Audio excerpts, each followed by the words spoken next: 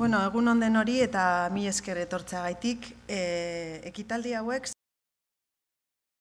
bat programa, guk e, gorkak eta mariak e, aurrera eramaten dugun programa bat da, eta hiri ikaskuntza, partaidetza, arkitektura eta hiriaren kudeak eta, kudeak eta gizarteari eta profesional e, guztiei gertaratzea dauka helburutzat.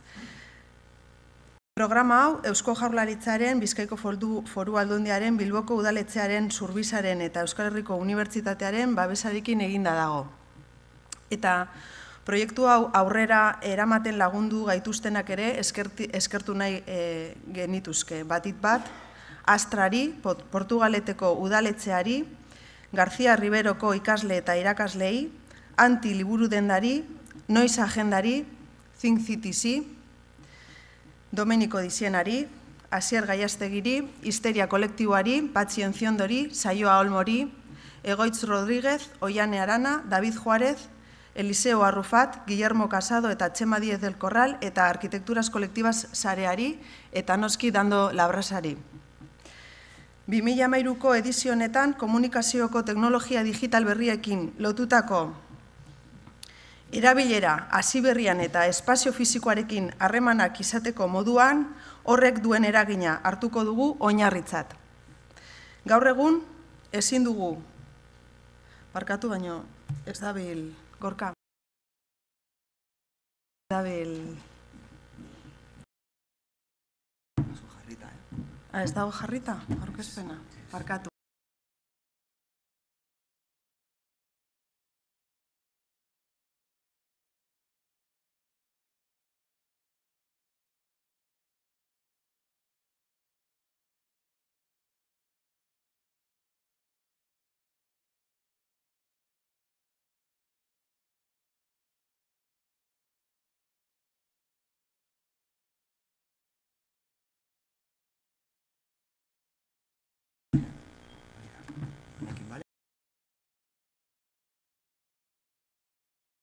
Gaur egun, ezin dugu hiriko konplexutasuna ulertu teknologia berriek eta jardunbideek lurraldearen eraikuntzan eta harreman sozialetarako moduetan sortzen duten eragina kontuan izan gabe. Plataforma digitalak eta bereziki sare sozialak informazioa ezagutza lankidetza proiektuak sortu eta partekatzeko guneak bihurtu dira. Komunikatzeko modu berri horiek gune publiko berriak sortu dituzte, eta horrek, oiko iriko gunearen logika aldaraziko du. Gune hibridoak dira, iriko plano digitalen eta fizikoen arteko topaleku bihurtu direnak. Iriko kudeaketak, produkzio moduek eta kontsumo kulturalak ezin dute aldaketa horietatik kanpo geratu. Komunikazio sozialeko tresna digitalek, askotan, herriaren sormena, hiriaren eraldaketaren eta hobekuntzaren alde lan egitera bultzatu dezakete. Horri esker, herritarrok berriro azal dezakegu interesa hiriko ezagutza ezagutzari eta ezaugarri fisikoekiko eta gizartearekiko.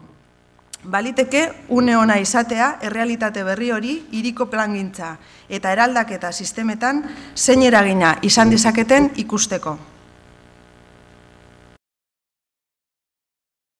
Buenos días a todos y bienvenidos a, esta segunda edición de BAT. BAT es un proyecto que, desarrollamos desde Salamari, donde lo que planteamos es generar una cultura de la participación y acercar el conocimiento de la arquitectura a, las personas que no están tan familiarizadas con, este ámbito, pero también acercar a los, arquitectos y a los técnicos a la sociedad. Es un programa que, que está realizado con el apoyo del Gobierno vasco, de la Diputación Foral de Vizcaya, del Ayuntamiento de Bilbao, de Culturbasque y de la Universidad Pública del País Vasco.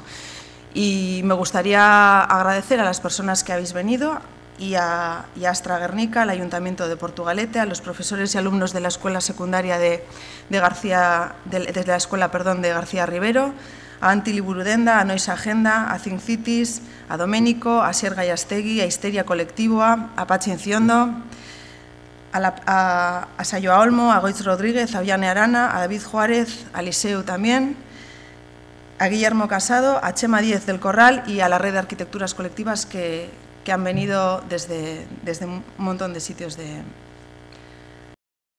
desde Galicia hasta Sevilla, hasta Extremadura, han venido de un montón de, lugares. Este año BAT se centra en el incipiente uso que, que pueden tener las tecnologías digitales y de comunicación y de qué forma esa esfera digital puede influir o no en cómo nos relacionamos con el espacio físico. Entendemos que esa forma de interactuar con esas redes digitales, esas nuevas redes sociales, puede eh, generar un, espacio propicio para poder compartir conocimiento entre, entre, un montón de gente y utilizarlo para generar una cultura de la participación y una base para la pedagogía urbana. Ni la gestión urbana ni las formas de producción y consumo cultural pueden permanecer al, margen de estos cambios. Las herramientas digitales de comunicación social están favoreciendo en muchos casos que la creatividad ciudadana se ponga a trabajar a favor de la transformación y la mejora de la ciudad, abriendo la posibilidad de que los ciudadanos volvamos a interesarnos por las características físicas y humanas y también por el cuidado de los lugares que habitamos. Esta imagen corresponde a la nueva plataforma eh, Arquitente, donde lo que planteamos también es acercar el interés por el, conocimiento de la ciudad a los centros eh, escolares, que en breve ya la tendremos publicada. Cuando hablamos de los cambios que pueden producir estas nuevas formas de habitar y de participar en la esfera urbana, nos referimos, por ejemplo, a nuevos espacios y a nuevos procesos que, se hibridan con el arte y con otras disciplinas y que en muchas ocasiones nos permiten utilizar la ciudad de otra forma y experimentar y averiguar las infinitas posibilidades de uso que nos ayuden a apropiarnos y a recuperar y a entender cómo estos espacios pueden ser nuestros y cómo los podemos disfrutar. Este, por ejemplo, es un taller que, dimos ayer sobre, sobre, cómo algunas de las teorías eh, sobre urbanismo y género pueden ser geoposicionadas y, y experienciadas en la propia ciudad. Un informe Gardner apuntaba que la gamificación puede ser el próximo fenómeno de la innovación. El juego y la gamificación pueden ser herramientas para reapropiarnos de la ciudad y de los espacios comunes y de alguna forma reconocernos en ellos para vincularnos activamente con ellos. Y ya para acabar, eh, me gustaría eh, invitaros a que conozcáis esta, esta, actividad que se llama el Play Day, que vamos a poder realizarla también en esta segunda, durante este, este próximo diciembre, donde lo que vamos a plantear es nuevas formas de entender la ciudad a través de la intervención urbana efímera para convertir la calle en una zona de juego. Próximamente vamos a publicar las, bases del concurso en la propia página web de BAT. Y ya sin más me gustaría presentar a Doménico y antes de presentar a Doménico me gustaría comentar un poco el programa de, hoy. ¿no? Vamos a tener primero dos presentaciones. Doménico nos hablará de la plataforma Sin Cities y luego tendremos a la red de arquitecturas colectivas también que nos, presentará cuál es su trabajo y, la, nueva, herramienta que han, que han estado desarrollando a lo largo de este año. A las 12 tendremos una pausa y luego tendremos otras dos ponencias que iré presentándoos eh, de forma individual. Tendremos a, Chema Díaz del Corral con Open Arts y tendremos también a Peripecio que nos hablará de interfaces que pueden utilizar el espacio público como, como, como un espacio para el juego.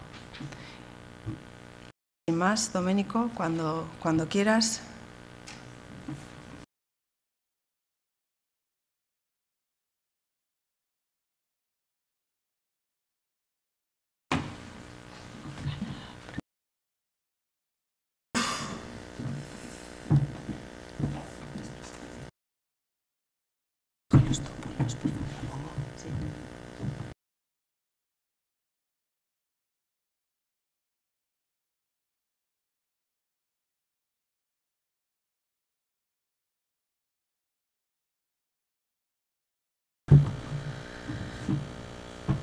Domenico Di Siena es arquitecto y urbanista y fundador de Urbano Humano Agency, agencia de innovación para la sociedad del conocimiento. Su actividad profesional se centra en proyectos de investigación y transformación relacionados con la innovación urbana, el diseño social, el network thinking y la gestión de conocimiento. Experimenta y desarrolla sistemas híbridos que conectan el mundo de la arquitectura y el urbanismo con el mundo de la innovación abierta, la cultura P2P y las nuevas tecnologías.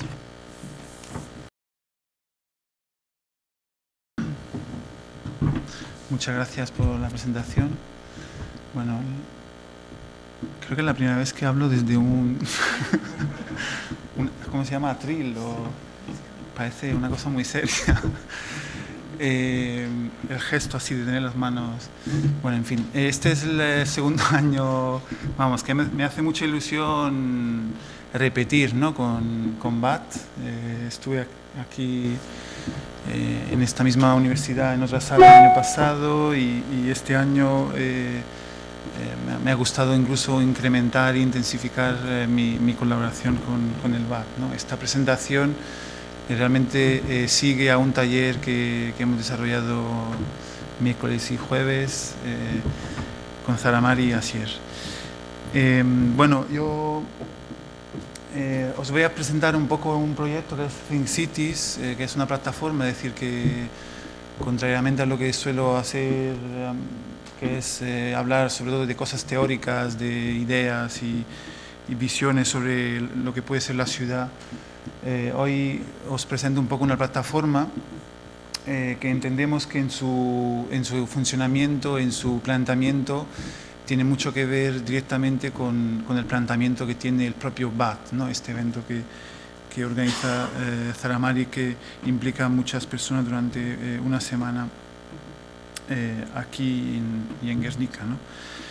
Think Cities es un proyecto que trabaja sobre educación expandida, que ahora veremos un poco más en detalle qué es, y eh, innovación urbana y gestión del territorio. ¿no? Es un poco, mm, son definiciones como muy amplias, a veces un poco demasiado eh, genérica, que no se entiende muy bien lo que es, pero lo iremos viendo un poco más. Bueno, eh, María ya me ha presentado. Sobre todo os pongo un poco mis contactos para que cualquier cosa que no os haya entendido bien de lo que os comento ahora o que tengáis curiosidad de eh, profundizar, no dudéis en contactarme, no sea por Twitter, soy muy tuitero, o si no en mi, en mi página web. Eh, entonces, mm, también me quiero presentar un poco más rápidamente. Yo, eh, en mi trabajo, como veis, aquí tenéis como dos, dos ámbitos. Uno es la innovación y otro es el conocimiento, es decir, me gusta experimentar. Eh, en, estos cuatro ámbitos que veis aquí, innovación urbana, diseño social, network thinking y gestión del conocimiento. Eh, y luego, digamos, los trabajos que me gusta hacer son de investigación, de diseño, formación y consultoría. ¿no? Y a raíz de esto eh, he, digamos, empezado, iniciado algunos proyectos y que os voy a comentar un poco rápidamente porque, digamos, nos ayudan a entender lo al final que es eh, la plataforma Think Cities. Pues uno de ellos es eh, Think Commons, eh, que es una, Think Commons es una plataforma web que nace con una intuición que es hacer un streaming todos los miércoles a las siete y media, invitando a personas eh, que están trabajando en diferentes proyectos, invitando a esas personas a presentar sus proyectos. La intuición de Think Commons ha sido justamente que eh, genera un espacio de encuentro, eh, antes de todo, digamos, digital, porque es un streaming al que pueden participar en videoconferencia varias personas y entonces genera, promueve un debate, digamos, mm, que, digamos, rompe las barreras físicas y entonces personas que están interesadas en un tema pues encuentran en ese espacio un ámbito donde profundizar y compartir y, debatir. ¿no? lo interesante de este, de este proyecto es que al final, este es un poco un, un dibujo que me hizo un amigo, eh, Jaime Zaguirre, conocido en Twitter también como Aiza, que pues un poco juega, yo hacía estos streaming, no sé si se entiende muy bien,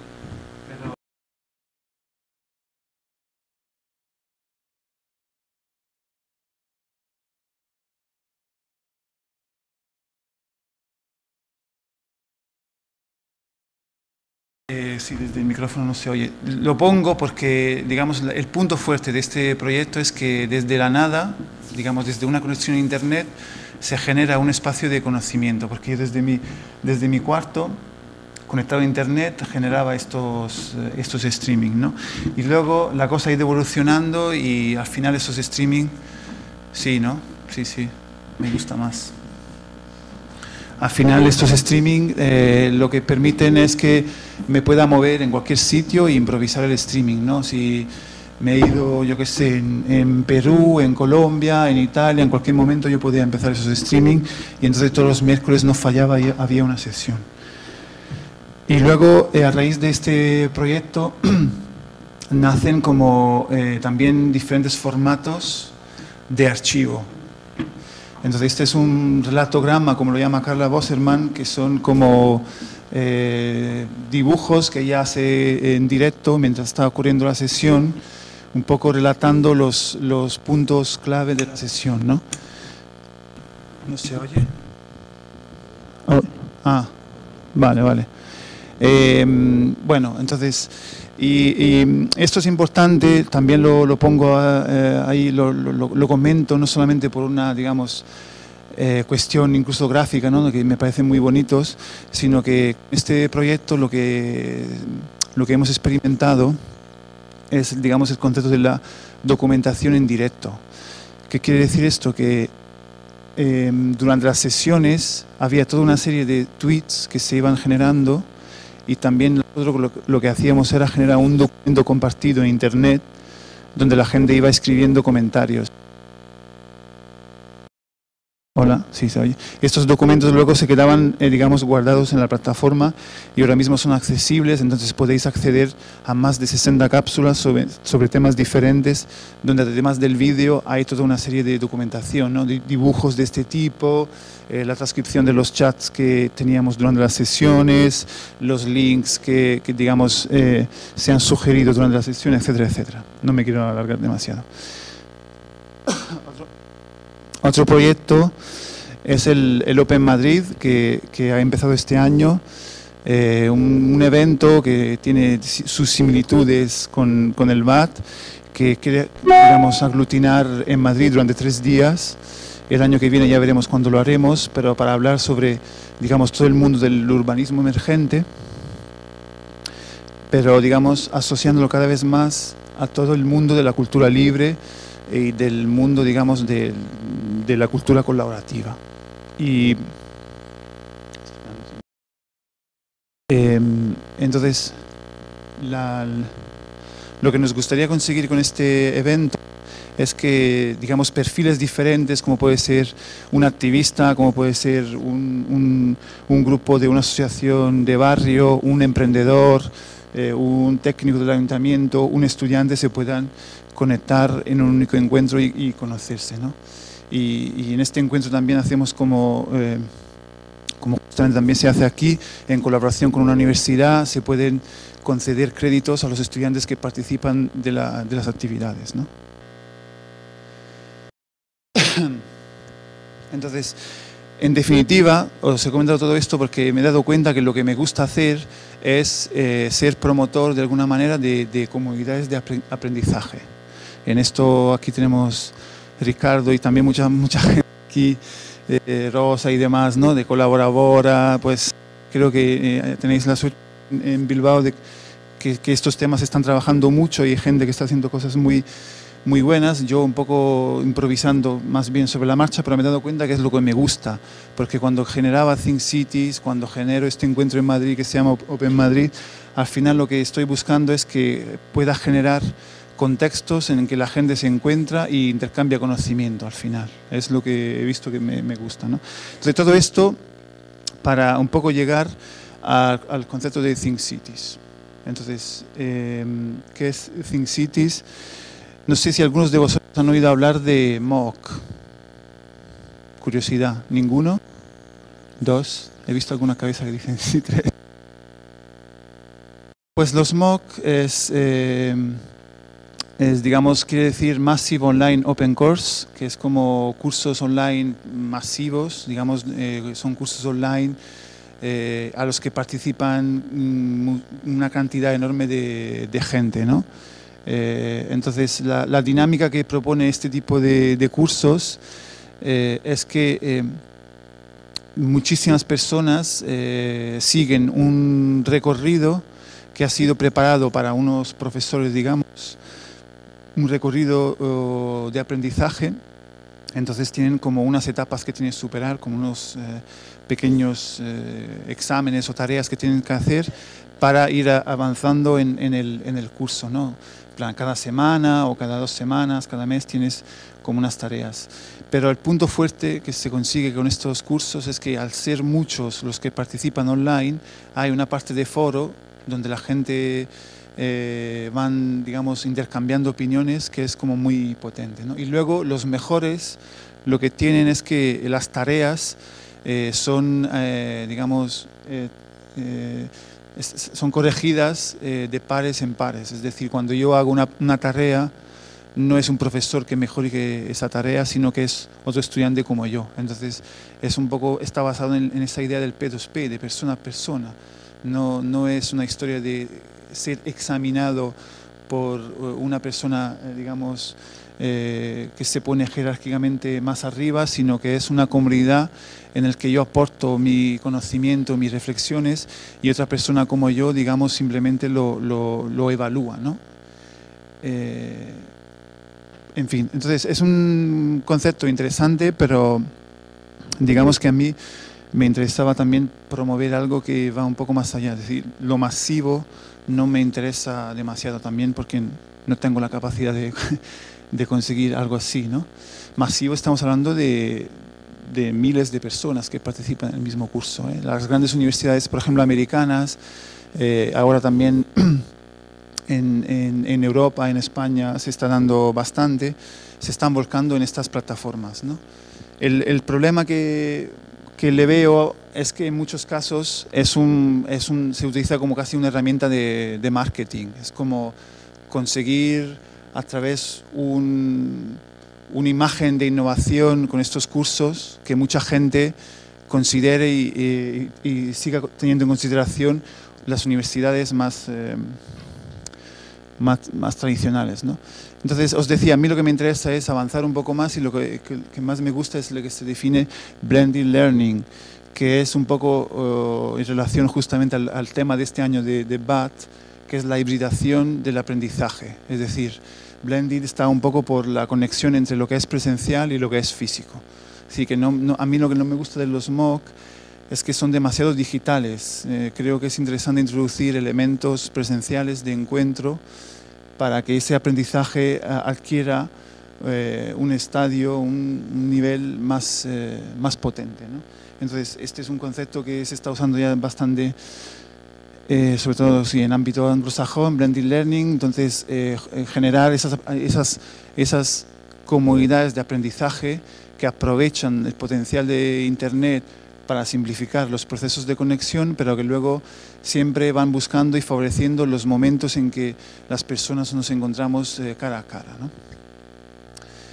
Eh, entonces, en este sentido, eh, la idea de Ambient Learning es que, como os decía, me gusta generar comunidades de prácticas, pero digamos, arropar esas comunidades de prácticas es fundamental. ¿no? Es antes os hablaba de la plataforma eh, Commons, eh, que en el fondo también es eso. ¿no? Cuando yo doy simplemente una cita, que es el miércoles a las siete y media, y doy una URL que es thincommons.org, estoy generando un ambient learning, es decir, un contexto de aprendizaje que, que favorece, acompaña todo un, todo un proceso. ¿no?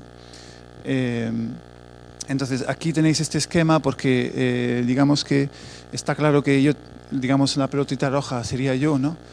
Entonces favorezco, digamos, eh, promuevo ese intercambio, pero digamos que eh, la parte fundamental es que las pelotitas, digamos, toda la gente que participa, eh, al final no acabe dependiendo de la pelota central, ¿no? sino que se generen conexiones entre, entre toda la gente que participa. Aquí hay también mucho que trabajar sobre la capacidad de poner en marcha algo, de empujar, pero que, que no genere dependencia, etcétera, etcétera, etcétera. Eh, ya voy acabando para no enrollarme demasiado. Luego hay todo un espacio de preguntas y me preguntáis lo que queráis. os, he comentado un poco, em, un poco el, escenario general, ¿no? pero en lo concreto, ¿esto en, qué consiste? Pues sesiones online. Eh, yo ya he hecho un experimento este año de tres meses. Durante tres meses eh, he generado como una especie de curso eh, que tenían como los lunes como día de referencia de la semana. ¿no? Durante, un, durante tres meses todos los lunes a las 6 eh, pues eh, emitía en directo una sesión, ¿no? Entonces, pues normalmente eh, también solía invitar a alguna persona que hablaba de algún tema y, y, luego esto era posible asistir a esto, digamos, en directo y también la, la, sesión se queda grabada. Además, digamos, ya hemos desarrollado unas cuantas sesiones como, como esta en colaboración justo con el, con el BAT. Pero digamos, os comentaba antes que, lo que me interesa es generar conexión también con cara a cara. ¿no? Entonces lo que, lo que intento hacer es conectar esas sesiones online con eh, talleres y conferencias presenciales como esta. Lo que pasa que hoy os estoy comentando el proyecto, ¿no? pero en otras situaciones, por ejemplo, eh, la última en Valencia, pues eh, eh, en colaboración con unos estudiantes de Valencia que han montado una jornada y unos talleres, pues las sesiones y los cursos, digamos, los temas trabajados en Think Cities han llevado a un espacio físico, un espacio presencial muy concreto, que eran las clases de la Politécnica de Valencia, y entonces la gente que estaba siguiendo el curso online, pues en ese caso en Valencia ha tenido la posibilidad de conectarse y conocerse eh, presencialmente, sea entre ellos que, conmigo. ¿no? Y luego, digamos, un poco la grande utopía, lo que me gustaría, que he hecho algún experimento, pero vamos a ver, eh, falta, falta trabajo, falta fuerza, pero creo que puede ser muy potente. Digamos que eh, como la tecnología es muy ágil, es decir, eh, y también, digamos, la, la, sí, la tecnología es muy ágil, uno de los objetivos que me gustaría conseguir es que estas sesiones puedan ser retransmitidas en, eh, en las aulas de diferentes universidades. Entonces, ¿qué quiere decir? Que si yo estoy en mi casa o estoy aquí, estoy haciendo una sesión, que esta sesión se retransmita en una aula de una universidad tiene un sentido diferente de que si eh, asisto a esa sesión desde mi casa, porque el debate que genera es diferente. ¿no? Vuelvo un poco a la idea esta de generar ambientes de aprendizajes diferentes, que es lo que me gusta experimentar. Entonces, hemos hecho una prueba con dos universidades, con la Universidad de Juan Carlos de Madrid y la Universidad Politécnica de Valencia, eh, que han funcionado a medias. Todo es, mejorable, ¿no? Ha funcionado a medias había en este caso poca, mm, no estaba toda, toda la, clase asistiendo por temas de exámenes y lo típico, eh, pero digamos que los que han asistido le ha gustado mucho la experiencia porque digamos que estaban, no, no estaban viendo un vídeo, ¿no? sino que estaban interactuando con algo mucho más, eh, mucho más vivo ¿no? y además se generaba ese puente entre universidades. Aquí claramente la idea es que podamos generar puentes, sobre todo hablando en castellano, eh, con, con, Latinoamérica. ¿no? Entonces, este proyecto también tiene como una comunidad bastante importante en, en Latinoamérica. Entonces, la idea, ¿cuál es aquí? Poder conectar, y aquí también lo comento, si hay algún profesor eh, que se ponga en contacto conmigo y que podamos eh, generar estas sesiones que se retransmitan en diferentes universidades. ¿no? bueno, creo que se entiende lo que quiero decir. Em, estoy acabando, entonces todo esto es posible porque, digamos, la estructura que tiene detrás eh, este tipo de prácticas es muy ligera. Pues eh, estamos hablando de algo que, salvando las distancias, se puede parecer como una especie de mini academia, pero realmente para montarlo hace falta muy poco, digamos, hace falta horas de trabajo, por supuesto, eh, que es lo más necesario, pero digamos a nivel técnico y a nivel, digamos, de, incluso de protocolos, falta, digamos, eh, hacen falta solo, eh, digamos, elementos básicos que definen una estructura mínima a la que luego se pueden sumar más personas, más sí, más proyectos, más temas, etcétera, ¿no? Esto, digamos, tiene que ver un poco con un concepto que a mí me gusta cada vez más, que es la adocracia, que quiere decir que, que, que, que Think Cities mañana puede morir y no pasa nada.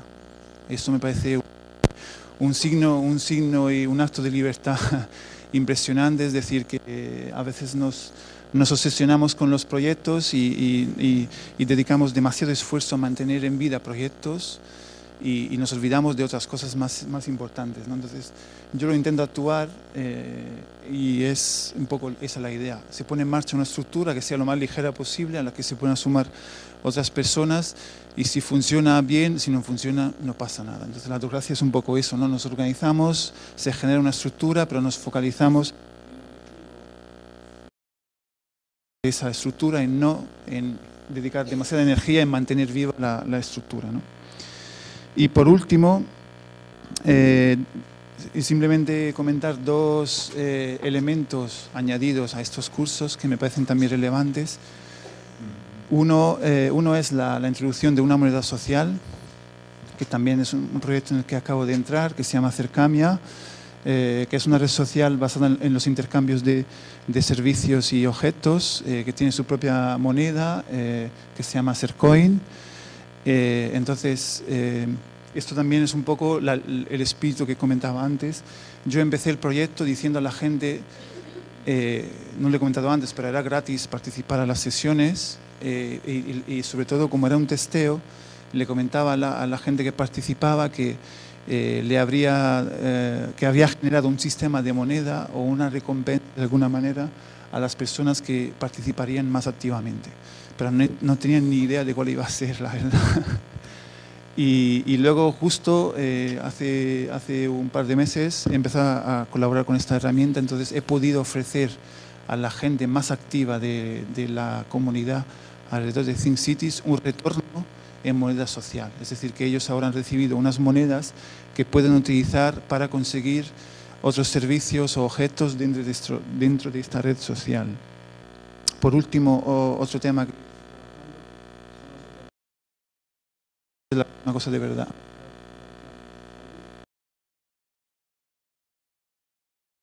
Ahora se oye bien, ¿no? Eh,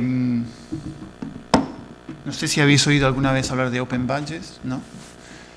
Pues eh, es un proyecto que ha puesto en marcha la Fundación Mozilla, la que está detrás del navegador Firefox, que está trabajando mucho sobre temas de aprendizaje y, digamos, eh, gestión del conocimiento, etcétera, etcétera. Eh, básicamente la idea es poder generar una tecnología y un protocolo, unas dinámicas que pongan en valor el conocimiento y las experiencias de cada uno de nosotros, en dos direcciones. La primera, por supuesto, en Internet, es decir, siendo Mozilla eh, promotora de un navegador que es Firefox, que sugiero a todos usar, porque de momento es el más libre y, el que traquea menos, eh, traza menos nuestros, nuestras andanzas por Internet.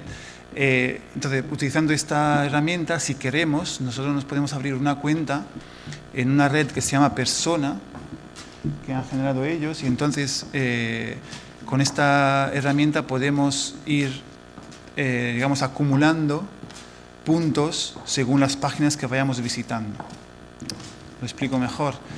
Eh, nosotros estamos acostumbrados a pensar la identidad digital que tenemos en, términos de redes sociales. Si tengo una cuenta en Facebook, existe mi identidad digital. Pero hay proyectos mucho más interesantes como es justamente Persona, que lo que dice es, vamos a intentar que todas las páginas que yo visita en Internet, primero los datos son para mí y no para los otros, y luego que esos datos me sirvan para conseguir badges, es decir, medallas, ¿no? Eh, ¿Qué quiere decir? Que eh, la idea es que cuando tú has visitado una página, cuando tú has, dejado un comentario en una página, cuando tú has interactuado con ciertas páginas, eso pueda dejar huella en tu identidad digital. Es decir, no es lo mismo leer eh, un blog, yo qué sé, ahora no quiero ofender a nadie. De lo que menos me interesa a mí es el fútbol, por ejemplo. No es lo mismo pero no quiero decir nada con ello. A mí lo que menos me interesa es el fútbol. No, no es lo mismo para mí leer una cosa de fútbol que un blog de cocina. Me interesa más la cocina, por ejemplo. Y entonces que se pueda generar a raíz de eso unas medallas que te van definiendo como, como identidad digital. ¿no? Y esa es como la parte como más automática. Eh, lo interesante de todo esto eh, es que esas medallas hay gente que las otorga. Entonces, la, organización de cocina vasca claramente lo que te da es una medalla sobre cocina, nunca te va a dar una medalla sobre fútbol, para explicar un poco lo que comentaba antes. ¿no? Entonces, te da como eh, una certificación de que tú eh, estás aprendiendo sobre ese tema. Entonces, esto es interesante porque eh, se genera un sistema un poco más horizontal de, digamos, certificación de conocimiento que es un poco la perversión que están sufriendo desde mi punto de vista las universidades, que cuando consigan salir de esa eh, van, a, van a encontrar eh, un mundo de oportunidades enorme. ¿no? Las universidades nunca morirán si, si, entienden bien cuál es su papel. ¿no? Entonces las universidades están centrando demasiado en certificar conocimiento y, ahora mismo eh, ese conocimiento eh, se empieza a distribuir. la certificación del conocimiento se distribuye. Siempre va a estar eh, cierta reputación, una universidad claramente siempre va a tener su reputación y certifica cierto conocimiento, pero la certificación horizontal adquiere cada vez más importancia. Tengo que ir rápido y no, puedo explicar más eso, pero se entiende. Si tenéis duda, me, me preguntáis. En fin. Entonces, eh, para mí esto es súper importante porque, como os comentaba antes, la idea de estas sesiones, de estas herramientas, es que se puedan generar sistemas de aprendizajes horizontales.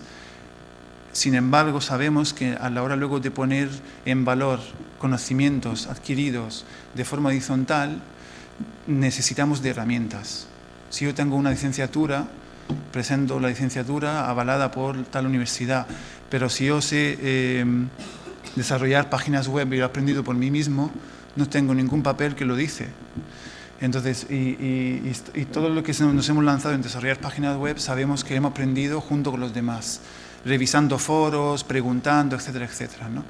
Entonces, este es un sistema que, digamos, investiga cómo generar esa pequeña certificación. En fin, entonces, esto... Eh, es un sistema que yo quiero también adoptar en esas sesiones, de manera que la gente que participa, por ejemplo, yo establezco aún más del 70% de las sesiones y que participa activamente, poniendo comentarios, etcétera, etcétera, pues se le otorga unos badges. Y acabo, lo último deciros que la próxima sesión será en diciembre, el 17 de diciembre a las 6. Y es un poco una sesión de clausura de los resultados que hemos desarrollado en un taller que comentaba justo antes eh, en BAT el miércoles y jueves. Ha estado aquí ahora también Asier, que antes no, no estaba. Que, entonces eh, hemos trabajado sobre el casco, el casco viejo, entonces vamos a presentar en esta sesión un poco los resultados de, este taller. Ya está. Pregunta.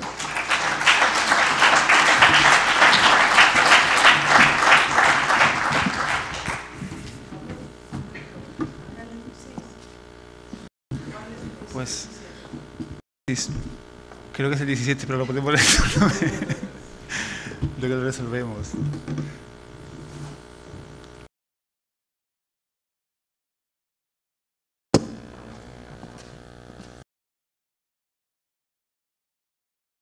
Podéis preguntar, el año pasado nos quedamos como muy cortitos, íbamos a, a, machete y no había casi tiempo para preguntar. Este año tenemos mucho tiempo para preguntar, por lo tanto espero que haya alguna pregunta que, que realizar.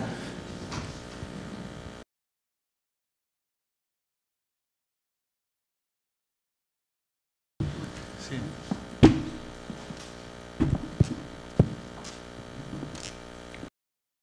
Me puedo enrollar más, ¿eh? Sí. Hay una cosa que no comenté por tiempo, la comento.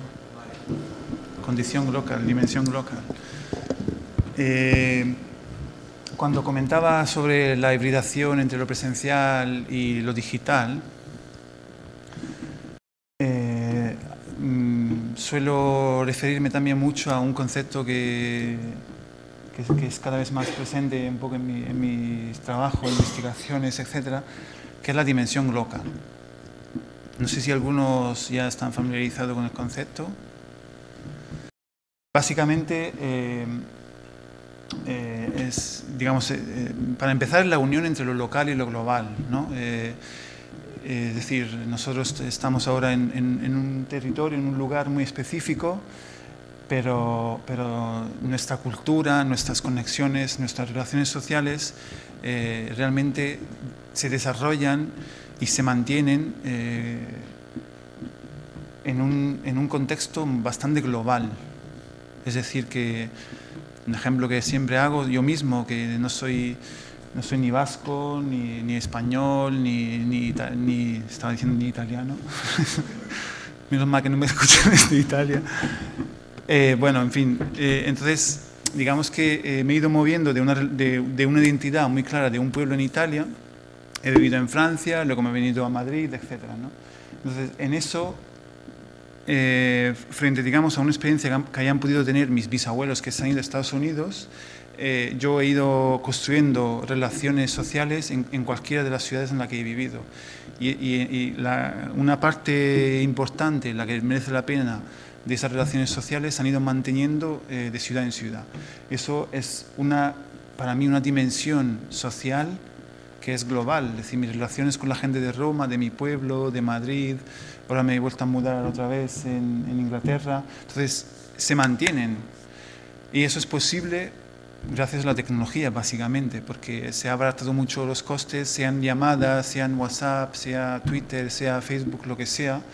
Eh, la capacidad que tenemos de intercambiar información, sea incluso información tonta, genera que esa relación social siga existiendo. Entonces, eh, cuando hablamos de, de habitar eh, un territorio, porque sabéis que trabajo mucho con el tema de las ciudades, pero también cuando hablamos de aprendizaje, para mí es imprescindible eh, trabajar con este concepto. ¿Qué quiere decir?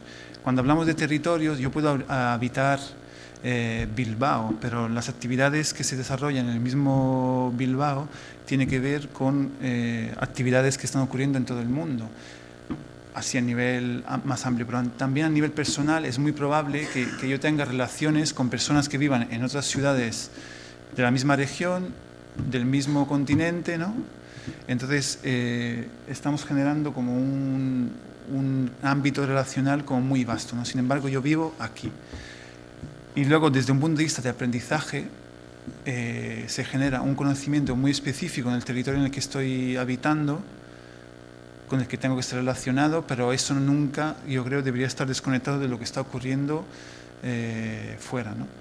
Y esto tiene que ver también con, con, dinámicas que se suelen dar eh, entre comunidades. Las comunidades, cuando, digamos, son autorreferenciales, son cerradas, digamos, no aceptan más difícilmente el cambio, ¿no? Se genera un equilibrio, es más difícil que se genera un cambio, ¿no?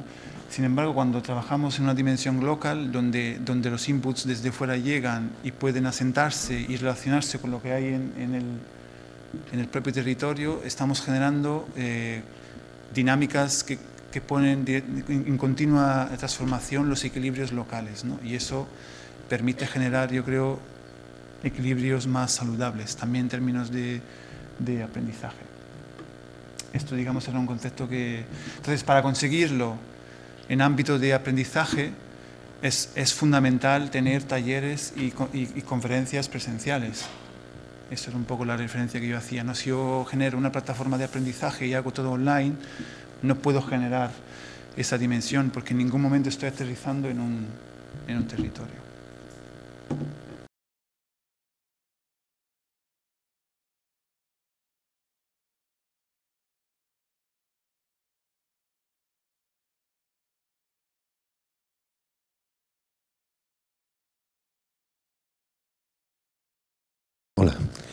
Eh, bueno, en referencia un poco también a lo que acabas de decir, pero estaba pensando en la imagen en la sesión esta telemática sobre una universidad, sobre un aula de una universidad, ¿no?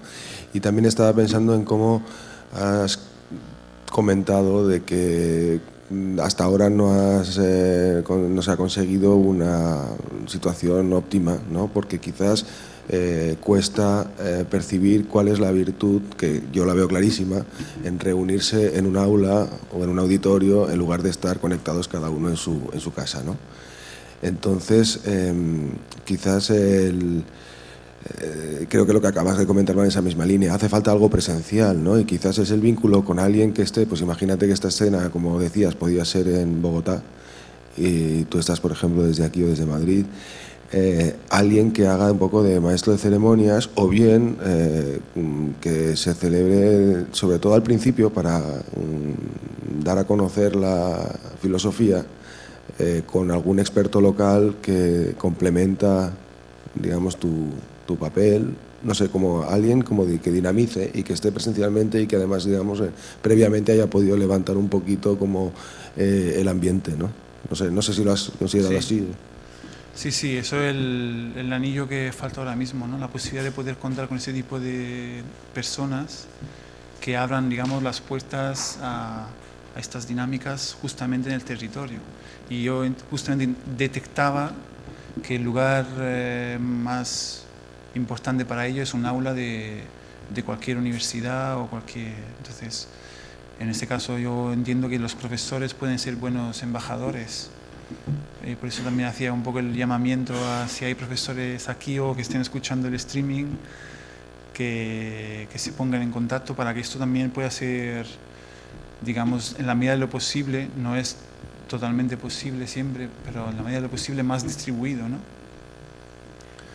Para que sea más distribuido absolutamente es que claramente cualquiera puede copiar el formato y repetirlo sin ni siquiera ponerse en contacto conmigo pero si, digamos, quiere generar una relación más de sinergia, sí que es interesante que se ponga en contacto conmigo para, para que haya ese, puente entre diferentes aulas.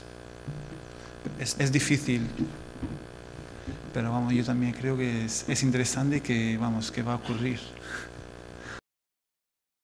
No sé si había... Hola, eh, bueno, yo quería hacer un comentario, así, así en general, ¿eh? que es lo que me pasa siempre cuando estoy en estos foros que me interesan muchísimo. Bueno, soy Isabel, no soy nada tecnológica, pero me interesa todo, lo tecnológico incluido. Lo que pasa es que me cuesta muchísimo. Eh, me cuesta mucho porque yo soy más física, más de los espacios físicos, em, pero me pierdo muchas cosas si no dedico el tiempo que hace falta a conocer estos espacios virtuales y a meterme en los espacios virtuales. Entonces, em, el otro día que estuve con vosotros en Midcommons, eh, es la segunda vez que participo en un Hangout. Hace 15 días que me he enterado de lo que es un Hangout. me parece interesantísimo. Eh, esto de que alguien conecte con no sé quién, siempre tiene que haber alguien que lo conecte, y yo no lo he aprendido todavía, debería aprenderlo. Bueno, lo que yo quiero decir con esto es, a mí que me interesa, me cuesta mucho meterme en esta historia y me interesa muchísimo. Bien, entonces, eh, ahora otra parte. Eh, yo lo que quería llevar el comentario mío es al terreno de la realidad de, sectores de actividad, por ejemplo. Yo trabajo en el sector de la construcción, en una, igual algunos conocéis, en el ECUNE, es el clúster de la construcción, y entonces lo que queremos realmente es generar estos espacios de relaciones, y es lo que está demandando el sector cada vez eh, somos menos, estamos menos en espacios pequeñitos y nosotros con nosotros mismos, sino que estamos abiertos al mundo, al mundo. Y es lo que se está demandando. Eh, entonces, en la, ahora estamos definiendo las estrategias de hacia dónde vamos. Parte de las estrategias tiene que ver con esta apertura y con estas relaciones. Y entonces se demandan relaciones virtuales y relaciones físicas. Pero cuando vas al terreno real, te das cuenta que si yo soy una paleta en el terreno tecnológico, no digo nada, mm, muchísima otra gente que tiene mucho miedo, porque realmente hay que darnos cuenta que la parte virtual da miedo a los que no estamos acostumbrados a esto. Y sin embargo es necesaria. Entonces, lo, que yo quería plantear simplemente, eh, a veces cuando oigo hablar a gente como vosotros y eh, eh, me gustaría estar metida en la misma onda, me da cierto miedo, veo que es fundamental para que las cosas avancen, lo que pasa es que lo veo mucho más sencillo, más dirigido a las, vale, a las universidades, a las personas que están en el ambiente de la tecnología, pero no nos damos cuenta que hay mm, todo otro mundo de sectores que lo necesitan como el comer también, ¿no? el planteamiento es, ¿se puede hacer un planteamiento de mínimos, de mínimos tecnológicos necesarios para entrar en el juego? Esa es la cuestión. ¿Qué es ese mínimo que deberíamos saber el 100% de los que estamos, por ejemplo, en el sector de la construcción, para empezar a relacionarnos de esta manera, sumando espacios virtuales y espacios físicos? ¿Ese mínimo es saber cómo funciona un Hangout o, o, cuántos mínimos hay, minimísimos, ¿no? En vez de ir a los máximos que vosotros ya estáis en, en ondas, yo qué sé, de relaciones, ¿no? ¿Cuál es ese mínimo? Me planteo que no, no, quiero una respuesta ahora, quiero decir, podríamos llegar a, ver ese protocolo de mínimos. No sé si esto es sí, yo, mm, yo, creo que no se puede, no sé, también me gustaría saber opiniones, porque yo creo que no se puede llegar. Es decir, definir un mínimo es una imposición demasiado grande y el problema también es que en estos en estas presentaciones obviamos muchas cosas por, simplificar, aunque no parezca, porque hay una cuestión de, soberanía tecnológica y de, digamos, de independencia y conciencia de las tecnologías, etcétera, que no ponemos sobre la mesa ya para complicar todavía más. Pero que es que eh, las herramientas que usamos son productos de empresas que cambian las reglas de un día para otro. Nosotros hemos tenido justo un problema en el taller porque usábamos unos mapas de, Google y hemos estado haciendo pruebas, tal y cual, el día anterior haciendo pruebas. La noche anterior al taller, Google ha cambiado una norma y el día siguiente no funcionaban los mapas.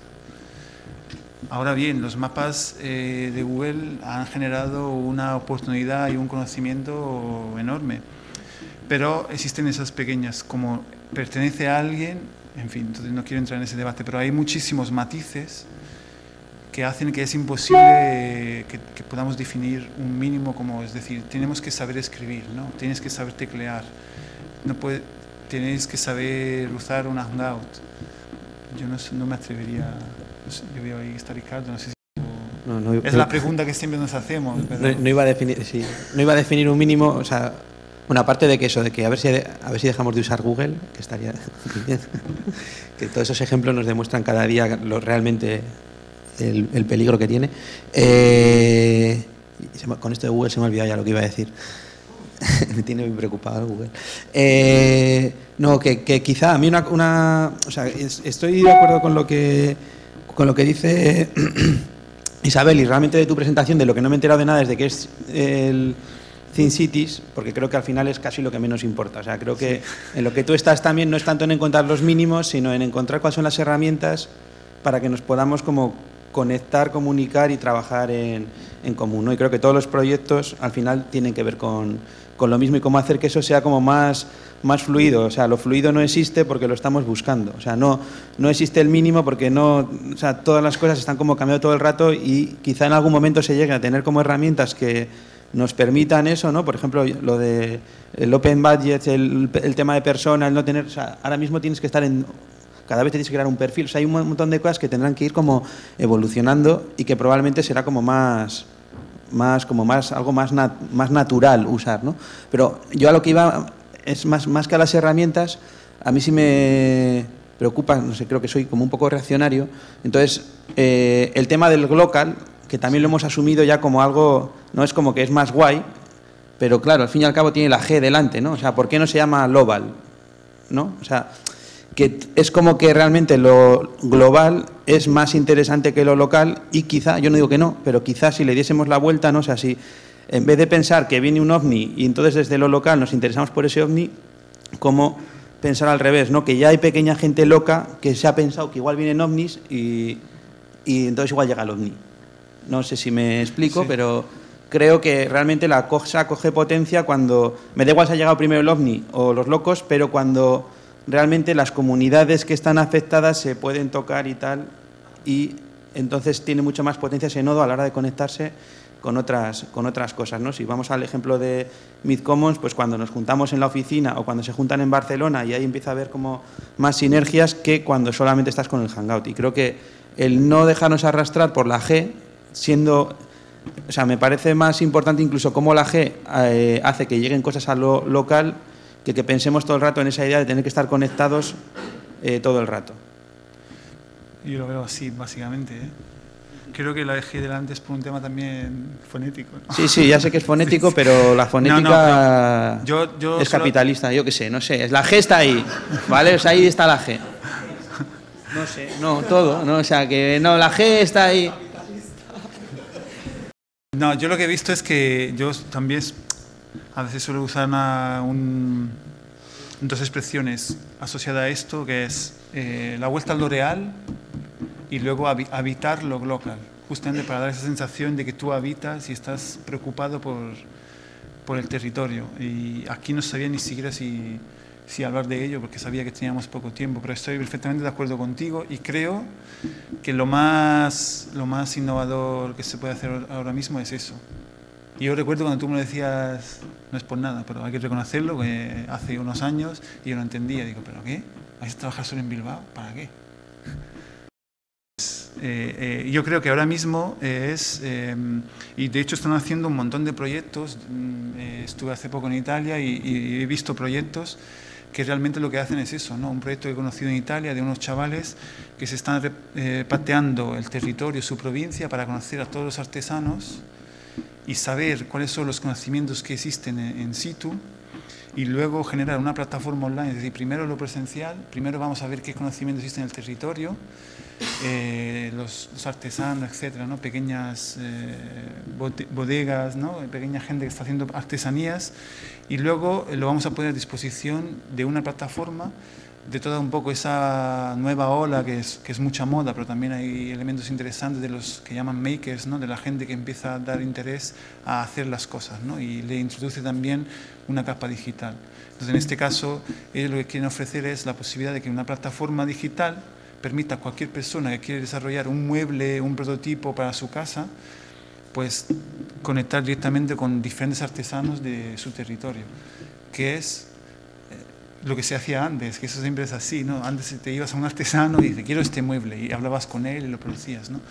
Ahora parece que tenemos que pasar por plataformas, pero en este caso la plataforma lo que te, lo que te ayuda es a generar una conexión con toda una comunidad que puede codiseñar contigo e- ese, ese mueble, lo puede mejorar, etcétera, etcétera, etcétera, ¿no? Eso me parece interesante. Y creo que es un poco la línea que tú comentas.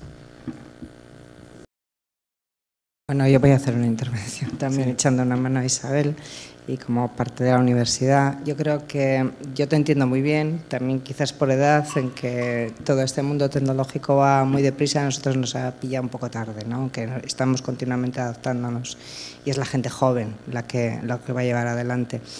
Y para acercar de alguna manera todo este mundo virtual a, los sectores como la construcción, a realmente llevarlo e implementarlo en la práctica, a lo mejor, a mí se me ocurre, es una buena vía hacer participaciones con la propia universidad, con la gente que está en, todos estos medios y que los tienen actualizados para que de alguna manera, en, alguna medida de- de prácticas o de formación, ayudar a esos sectores que están un poco fuera a, ver realmente la parte práctica, ¿no? a echar una mano con las herramientas. Digo, porque realmente ellos nacen y, y crecen ya con, con esa tecnología, ¿no? Se me ocurre. Yo ahí insisto en que las universidades pueden adquirir un papel muy, muy interesante en la sociedad. Y una conexión, es una, es una cosa que siempre se ha dicho, el hecho de que las, digamos, la- las personas vamos a estar cada vez más conectadas con la universidad, más allá de un periodo muy definido de formación inicial, pero luego no se ha llevado mucho a la práctica, ¿no? creo yo. Y, y ahora, mm, no es por introducir otros conceptos una vez más, pero hay un concepto que se, se llama el mobile learning, ¿no? Que, que no tiene que ver tanto con, con, la- con los dispositivos móviles, móviles. ¿no? Mobile learning es un poco esta idea de que yo puedo aprender eh, en cualquier lugar. Digamos. Eh, y, y, digamos, aprovechando los dispositivos móviles, nosotros justo hemos hecho un taller miércoles y jueves que se llamaba Twitter and Walks, que era un poco patearse la, la ciudad y, digamos, narrar eh, una idea de ciudad, narrar eh, situaciones que nosotros eh, vivimos para que otras personas las conozcan y se genere un imaginario, una historia, un relato de territorios que normalmente no aparecen en, en, medios tradicionales. ¿no? Entonces, todo eso se, se, le puede ver desde dos puntos de vista. Un punto de vista es el relato, voy a racontar, voy a contar lo que yo veo, pero también se le puede dar la vuelta y es, no, no, yo vivo una experiencia, la comparto con otra gente que está aprendiendo conmigo y generamos eh, un nuevo contexto de aprendizaje. Es decir, las clases de las, de las universidades, las aulas, se pueden salir fuera y hacer que eh, el espacio de, vital que tenemos todos en la ciudad se pueda transformar en una experiencia que enriquece un proceso de aprendizaje. Yo soy un arquitecto, un urbanista y estoy estudiando urbanismo. Además de las clases que yo hago en aula, yo puedo introducir en los mecanismos de intercambio eh, las fotos que hago todos los días en la ciudad, que, las hacemos banalmente sin reflexionar sobre ellos. ¿no? el profesor, que puede ser un coordinador, puede introducir en los mecanismos de aprendizaje los gestos que hacemos todos los días, ¿no? fotografiando los amigos, los bares, las plazas eso puede, se le puede dar la vuelta, ¿no? en lugar de ser simplemente narrar lo cotidiano, que me parece para mí también ya útil, que forme parte de un proceso de aprendizaje. ¿no? Entonces, las universidades que entiendan eso pueden generar una penetración en las actividades cotidianas de la ciudad impresionantes, porque cada estudiante que está eh, pateando la ciudad, cada persona que forma parte de un proceso de aprendizaje, está mirando la ciudad y la está contando de otra forma y al mismo tiempo la está debatiendo. No sé si, me explico muy bien, pero eso es un poco la idea, ¿no? Es decir, siempre eh, añadir nuevos eh, puntos de, reflexión al, al tradicional, ¿no? No van, a, no van a desaparecer las clases, porque es cómodo. Si llueve sobre todo, que estemos aquí reunidos es bastante cómodo, ¿no? Es decir, no, no es que todo ocurra en la calle, pero que le añadimos a, ese espacio de congregación de todos juntos, ¿no? en, en el mismo proyecto de Think Cities yo interpreto como interesante el hecho de que estemos todos juntos en, una, en, un, espacio, ¿no? pero que añadimos a eso otros, otros momentos ¿no? que son del, del día a día, porque eh, pueden generar, a mí me hace, mucha, me hace mucha gracia también los nativos digitales, porque siempre pensamos que son más listos que nosotros, porque saben usar las herramientas. ¿no? Y luego muchas, muchas veces hacen un uso banal de las herramientas. Entonces estuve en un curso explicándole que era muy importante que ellos documentaran eh, el trabajo que estaban haciendo día a día. ¿no? Era desarrollar un proyecto, pero no me interesaba la entrega final, sino que era el proceso que me interesaba y que lo tenían que documentar. Para explicárselo, le he, dicho, le he tenido que comentar que hiciera lo mismo que hace con sus amigos cuando va de fiesta y se emborracha y se hace una foto. Digo, haz, lo mismo de tu, de tu dibujo. Pero es como que a veces falta un pequeño empuje para que entendamos que esos mismos procesos que hacemos banalmente todos los días pueden formar parte de aquello que algunos llaman la inteligencia colectiva. Es decir, si yo publico una información y formo parte de una comunidad de aprendizaje que es un aula, esa foto de la torre o de lo que sea puede ser comentada por otra persona que forma parte de la misma comunidad y generas... Riendo un poco, ¿Más preguntas? Sí.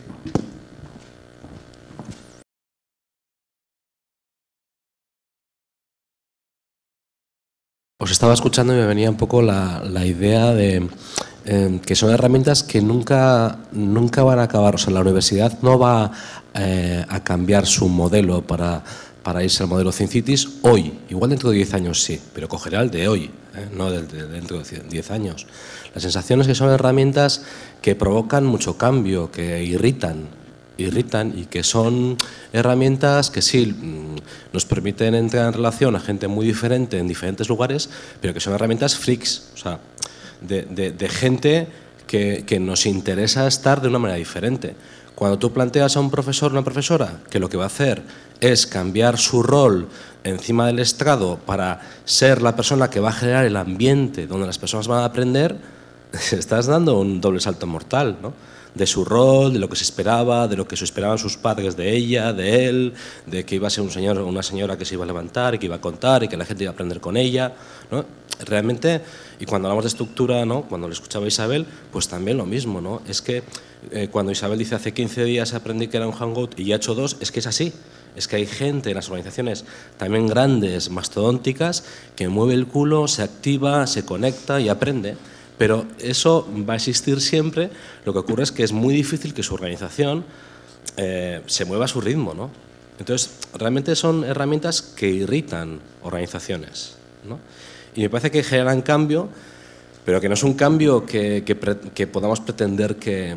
La, idea esta que, que, planteabais también en la conversación Ricardo y tú, eh, cómo, cómo eh, hablar de mínimos cuando realmente lo que queremos es buscar estructuras lo más ligeras posibles que tiendan a desaparecer cuando realmente la pelea que tenemos ahora mismo en crisis además es permanecer. ¿no?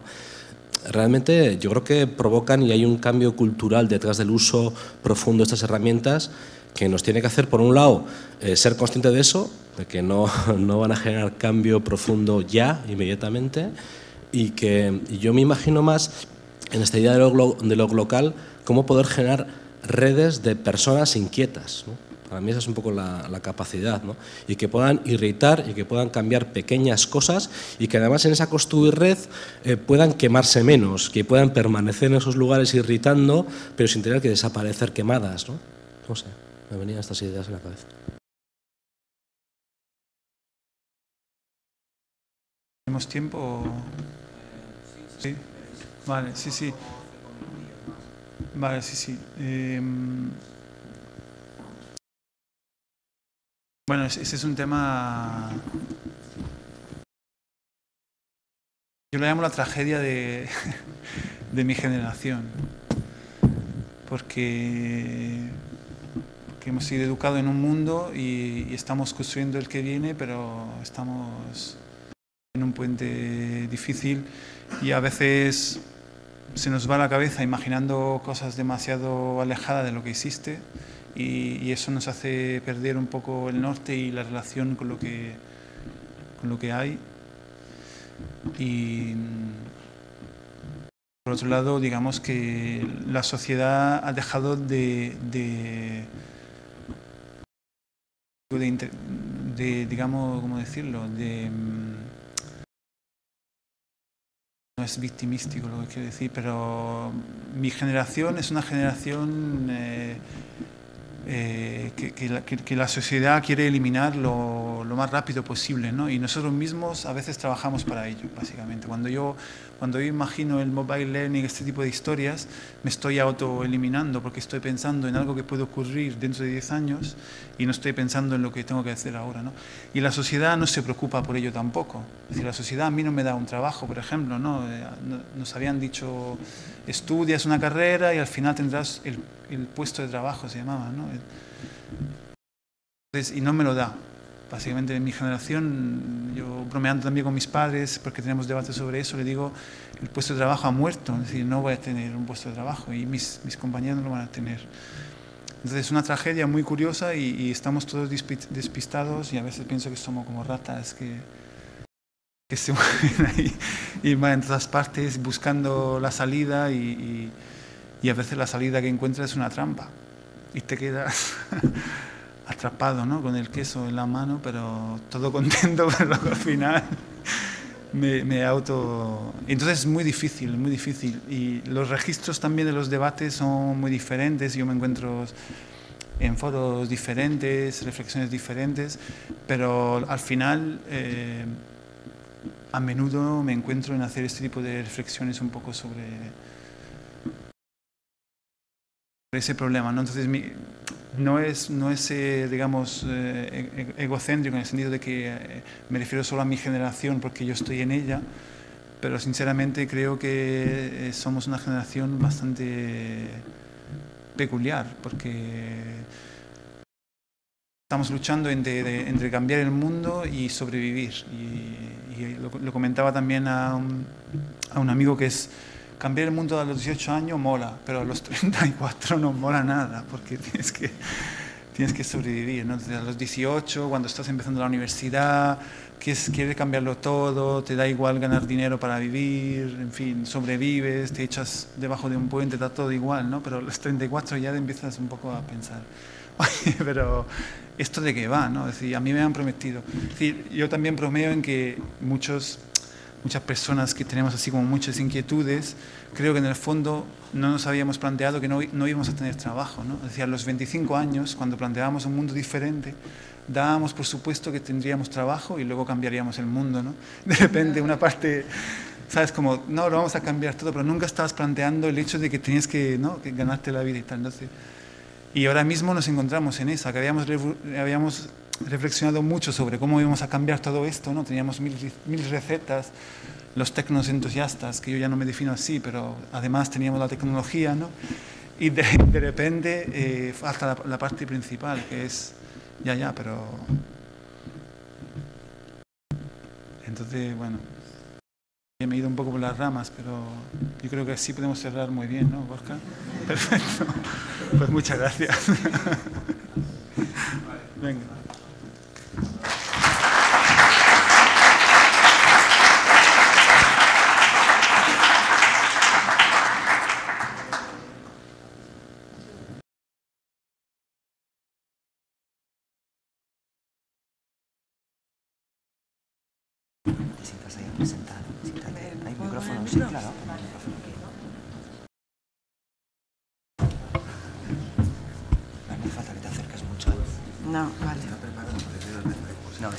Bueno, mientras Gorka eh, prepara la presentación, me gustaría eh, bueno, pues, introducir arquitecturas colectivas y a David Estradel, que va a venir a, representar, a representar ¿no? a la red de arquitecturas colectivas. Arquitecturas colectivas es una red de personas y colectivos que promueven la construcción participativa del entorno urbano. Esta red proporciona un marco para la colaboración de diferentes tipos de proyectos e iniciativas. Desde sus inicios, en 2007, la red ha ido creciendo mediante las aportaciones de diversos agentes, habitantes inquietos, activistas urbanos, alumnos, docentes de la universidad, artistas y gestores culturales, paisajistas también, ecologistas, urbanistas, en definitiva, un amplio abanico de seres humanos con ganas de sentir un poco más próximo el medio en el que habitamos. David Juárez es arquitecto y fundador del colectivo Estradel 3 y es uno de los promotores de la red de arquitecturas colectivas. Desde 1998 combina la investigación de lo urbano con el trabajo sobre tecnologías de código abierto, buscando posibles conexiones entre las prácticas sociales y diferentes herramientas de transformación del hábitat. Mm, gracias.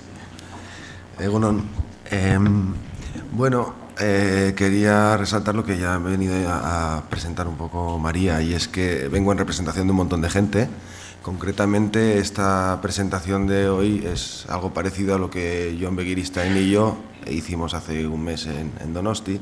O sea que viene a ser un trabajo, un work in progress, viene a ser eh, algo que, que, vamos repitiendo de manera diferente cada vez, ligeramente diferente, y que no puede de otra, ser de otra manera que al final una visión como una fotografía subjetiva de un proceso que hasta ahora dura ya más de seis años, donde participa un montón de gente y que por lo tanto da como para ser visto y representado de millones de maneras. ¿no? Entonces lo que hoy os presento es una manera posible de otras muchas, ¿no? Entre otras muchas. Eh, antes de empezar, eh, un poco a colación de lo que veníamos diciendo sobre la dependencia de las herramientas mmm, propietarias, que es como se llaman las herramientas que nos vienen dadas de las corporaciones eh, a nivel así tecnológico. Eh, una anécdota que comentábamos ahora con John también es como lo que os pasó el otro día con Google Maps, eh, es una manifestación más de, que, de, lo que pasa continuamente con Google Maps y con estas herramientas. ¿no? Por ejemplo, no sé si sabéis que eh, hasta hace muy poco tiempo Bagdad no aparecía en Google Maps. Entonces, bueno, sin ir tan lejos, ahora estábamos haciendo la comprobación, porque sabíamos que era así, pero queríamos, antes de decirlo aquí en público, en Euskadi hay otro caso similar al de Bagdad. ¿Es una tontería o no? En, la, en, en, Irún hay una plaza que se llama la Plaza de Urdanibia, que la gente eh, popularmente la, la, conoce como Plaza de Moscú. Y no sé muy bien por qué, pero en el suelo hay una estrella roja inmensa pintada desde hace muchos años. Pues esta foto en Google Maps aparece retocada y la estrella roja eliminada. Es una tontería como una casa, pero estamos sometidos a estas situaciones. Y así explico un poco, un poco también eh, cómo voy a intentar empezar a hablar de, bueno, pues de, toda una tecnología, que al final la tecnología no solamente es la tecnología digital, sino que también es toda la tecnología social, como por ejemplo en el caso de la red de arquitecturas colectivas, pues todas las conexiones formales e informales, sobre todo informales, entre un montón de gente y un montón de colectivos, eh, como decía María, de, mucho, de muy diversa índole y donde, por ejemplo, los encuentros presenciales juegan un papel fundamental, el roce, lo físico, un poco también la pregunta que hacía antes a Doménico, ¿no? esta necesidad de explicar que, que hay, una, hay una interdependencia entre, entre lo digital, entre lo tecnológico y lo físico, pues como, como pues esto, ¿no? este ambient learning, que es algo tan bonito y estas posibilidades que nos ofrecía, eh, que nos sugiere Doménico, cómo mmm, hay que trabajarlas que no son nada evidentes. ¿no? O quiere decir que al final, por ejemplo, en este caso,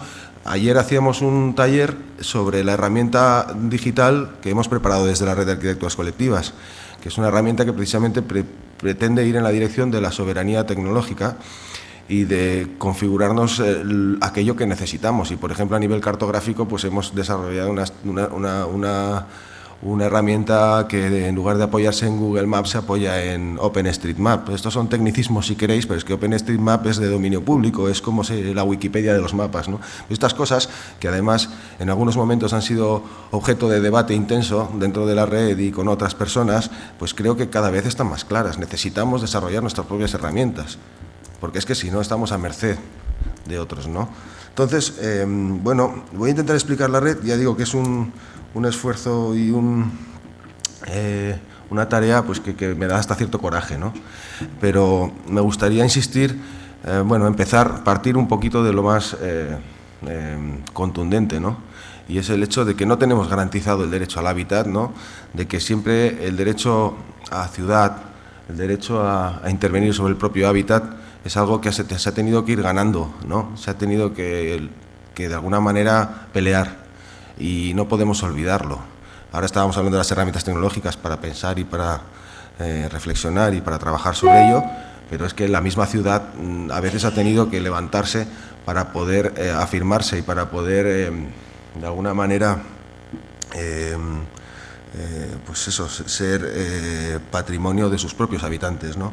Entonces, eh, habíamos preparado con John una, reflexión sobre cómo eh, el derecho a, la vivienda, el derecho al espacio público, el derecho a la ciudad, el derecho a intervenir en el propio hábitat, al fin y al cabo, el derecho a habitarlo, porque habitar algo no es vivirlo solamente, o no es residirlo, sino que habitar también es cuidar, tener la capacidad de transformar, de mejorar, de implementar y además de hacerlo en un entorno social eh, rico y en diálogo permanente pues lo que queríamos así como repasar un poco es cómo de los primeros movimientos eh, más, digamos, eh, de lucha eh, de base para reivindicar ciertos derechos sobre, por ejemplo, el tema de la vivienda que se manifestaban como, por ejemplo, en la Viena Roja o en la República Española, en la Segunda República Española, o en distintos momentos en que se producen, se comienza a producir vivienda social, etcétera, eh, eh, después, de la,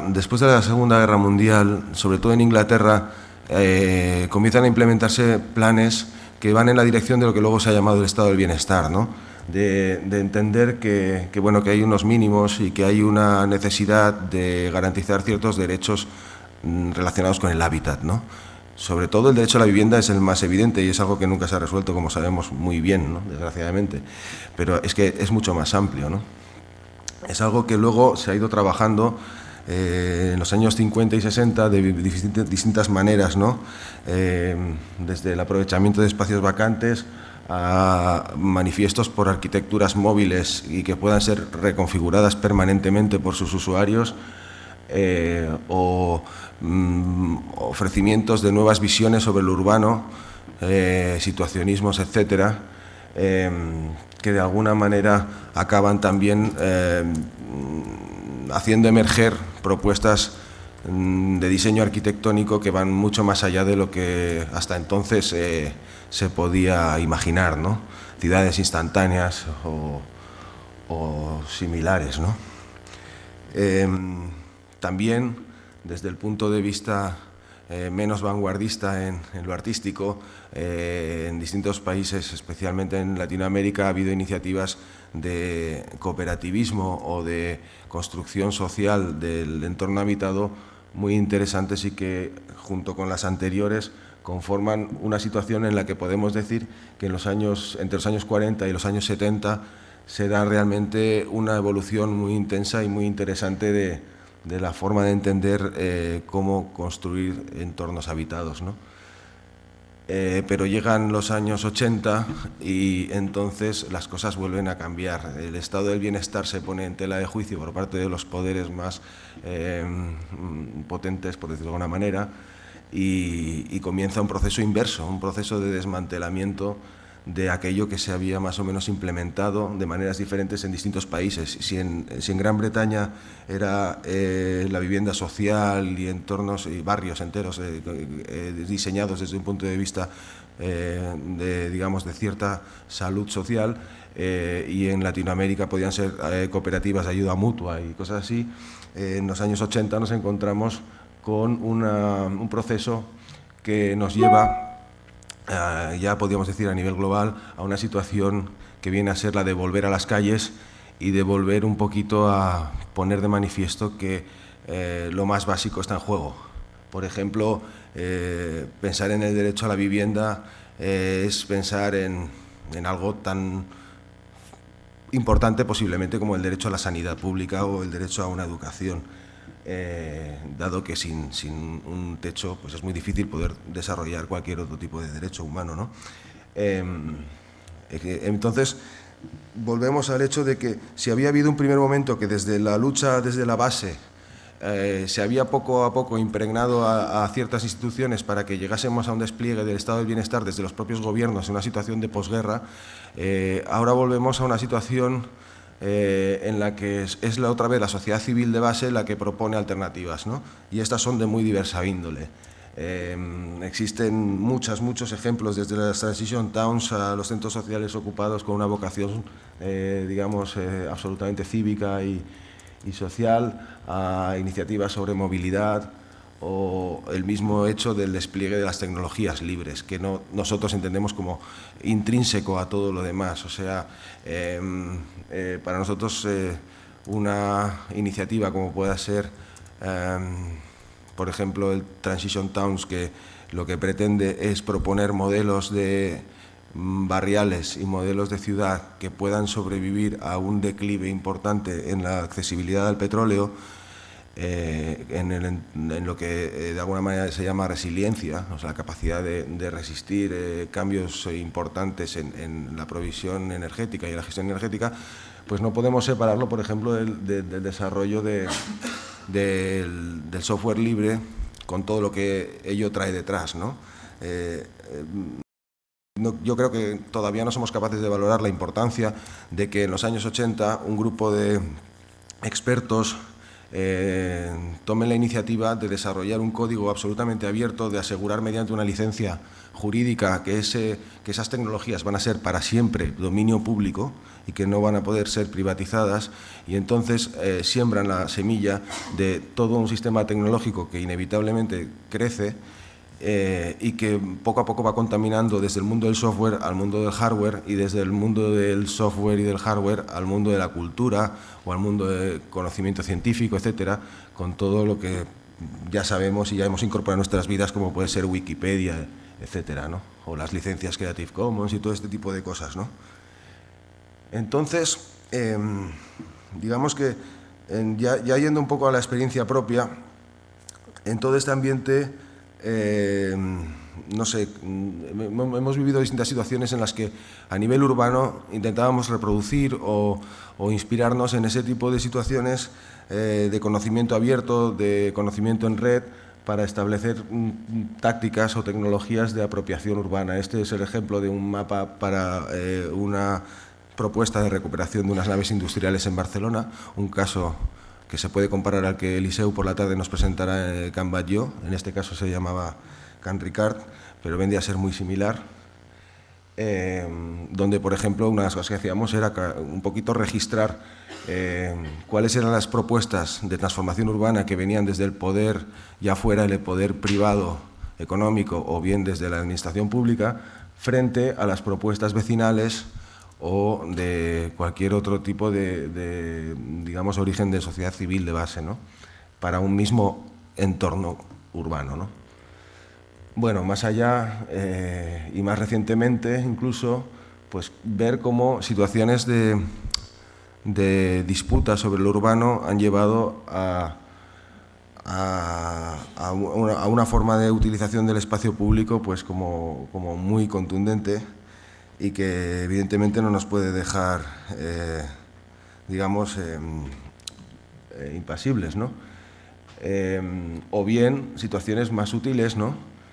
Mm, un poco también en la línea de lo, que, de lo que se trabajaba ayer en el taller de María Isayoa, ¿no? un poquito más desde la subjetividad, desde, desde entenderlo nuestro entorno inmediato como algo que podemos vivir de otra manera, que nos podemos reinventar, el entender que, que el usuario o usuaria no necesariamente es siempre el mismo, que podemos de alguna forma intervenir, editar la ciudad eh, desde lo pequeño y a veces incluso desde lo grande. ¿no? Entonces, ya yendo a la historia concreta de arquitecturas colectivas, bueno, con John no podíamos dejar de, presentar esta prehistoria, este precedente concreto que fue en el 2004 aquí en Euskadi, en, la Escuela de Arquitectura de, Donosti. Eh, presentamos estas jornadas que se llamaban Jatorri Irequiko Arquitectura, ¿no? Y bueno, pues esta arquitectura un poco de receta pública, de código abierto, que era más un deseo que otra cosa, ¿no? Eh, ya la gente que invitamos y que participó, eh, luego en su mayor parte han, sido, han sido parte fundamental de la aventura que luego se llamaría arquitecturas colectivas, ¿no?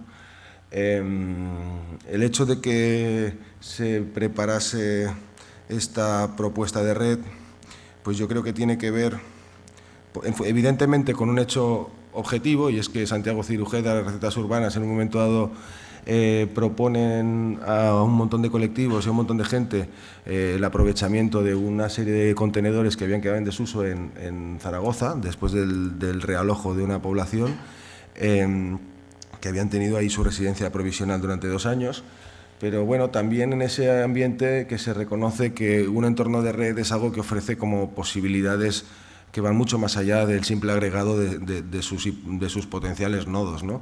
Esta idea de que las redes tienen una riqueza, que es algo que está ya bastante documentado y que, ofrece posibilidades de sinergética, de optimización de recursos, de distribución del conocimiento o de optimización del conocimiento, que es algo que, que ya vamos conociendo. ¿no? Bueno, yo sobre a ver, quizás no quisiera tampoco volver a explicar la historia concreta de, la red en sí, aunque sí hacer una pequeña, una pequeña reseña para quien esté menos familiarizado. Eh, la idea es que hay como varios proyectos de colaboración alrededor del año 2007 que al final de alguna manera pues con, esta propuesta de, reparto de contenedores y, de, que, que, llevaba asociada a la recuperación de distintos espacios e, y, esta, esta, recuperación tenía, tenía implícita una serie de cuestiones. Por ejemplo, cuando un colectivo quería montar un centro dedicado al arte, a la creación, o un centro dedicado a la educación, o un lugar social simplemente para reunirse, o para hacer actividades de barrio, muchas veces eran situaciones en las que, eh, bueno, pues no hay eh, una situación jurídica clara sobre el suelo que se va a utilizar, se está tratando de estructuras temporales reversibles y sobre todo esa idea de cómo un interés público eh, pueda influir para que se conceda una licencia o un permiso que normalmente quizás no se concedería para un interés privado o para otro tipo de uso. Entonces, como eh, una, existe evidentemente una situación un poco mm, de nebulosa jurídica y sobre todo de falta de conocimiento por parte tanto de los colectivos como por parte de las administraciones y de sus representantes, eh, lo que se ha hecho es como mm, promover una situación de encuentros presenciales eh, más o menos anuales eh, en las que normalmente se aprovecha, pues como hemos visto aquí en esas últimas diapositivas, para recuperar espacios, para trabajarlos conjuntamente eh, y así, eh, digamos, demostrar el movimiento andando, ¿no?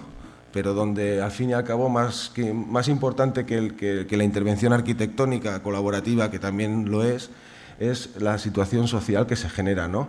O también el, pozo que puede dejar en un determinado barrio el hecho que se recupere un, edificio industrial en desuso, como es el caso de, Ciriza en Pasaya. Em, es esta idea también de incluso cómo poner de acuerdo eh, pulsiones que son muy activistas por un lado con, por ejemplo, iniciativas absolutamente institucionales como podía ser la candidatura de Donostia 2016. Yo creo que el potencial también está ahí, ¿no? Es em, abrir mucho el espectro y, por ejemplo, pues no, no, no, cortarse las alas de antemano. ¿no? Un poco lo que pasó en el encuentro de Valencia en el 2011 es que por primera vez eh, este, este, esta metodología de juntarse un montón de gente proveniente de, distintos puntos en el globo para hablar sobre una forma de hacer ciudad colaborativa, interdisciplinar, eh, etcétera, y para hablar de cuáles son las herramientas necesarias o recomendables para poder hacerlo, al final, en el caso de Valencia, lo que ocurre es que se desparrama por toda la ciudad y empieza a haber eh, demostraciones, pues si antes habían sido más puntuales, como montar un asentamiento en el campo o recuperar una nave industrial en el puerto de Pasaya,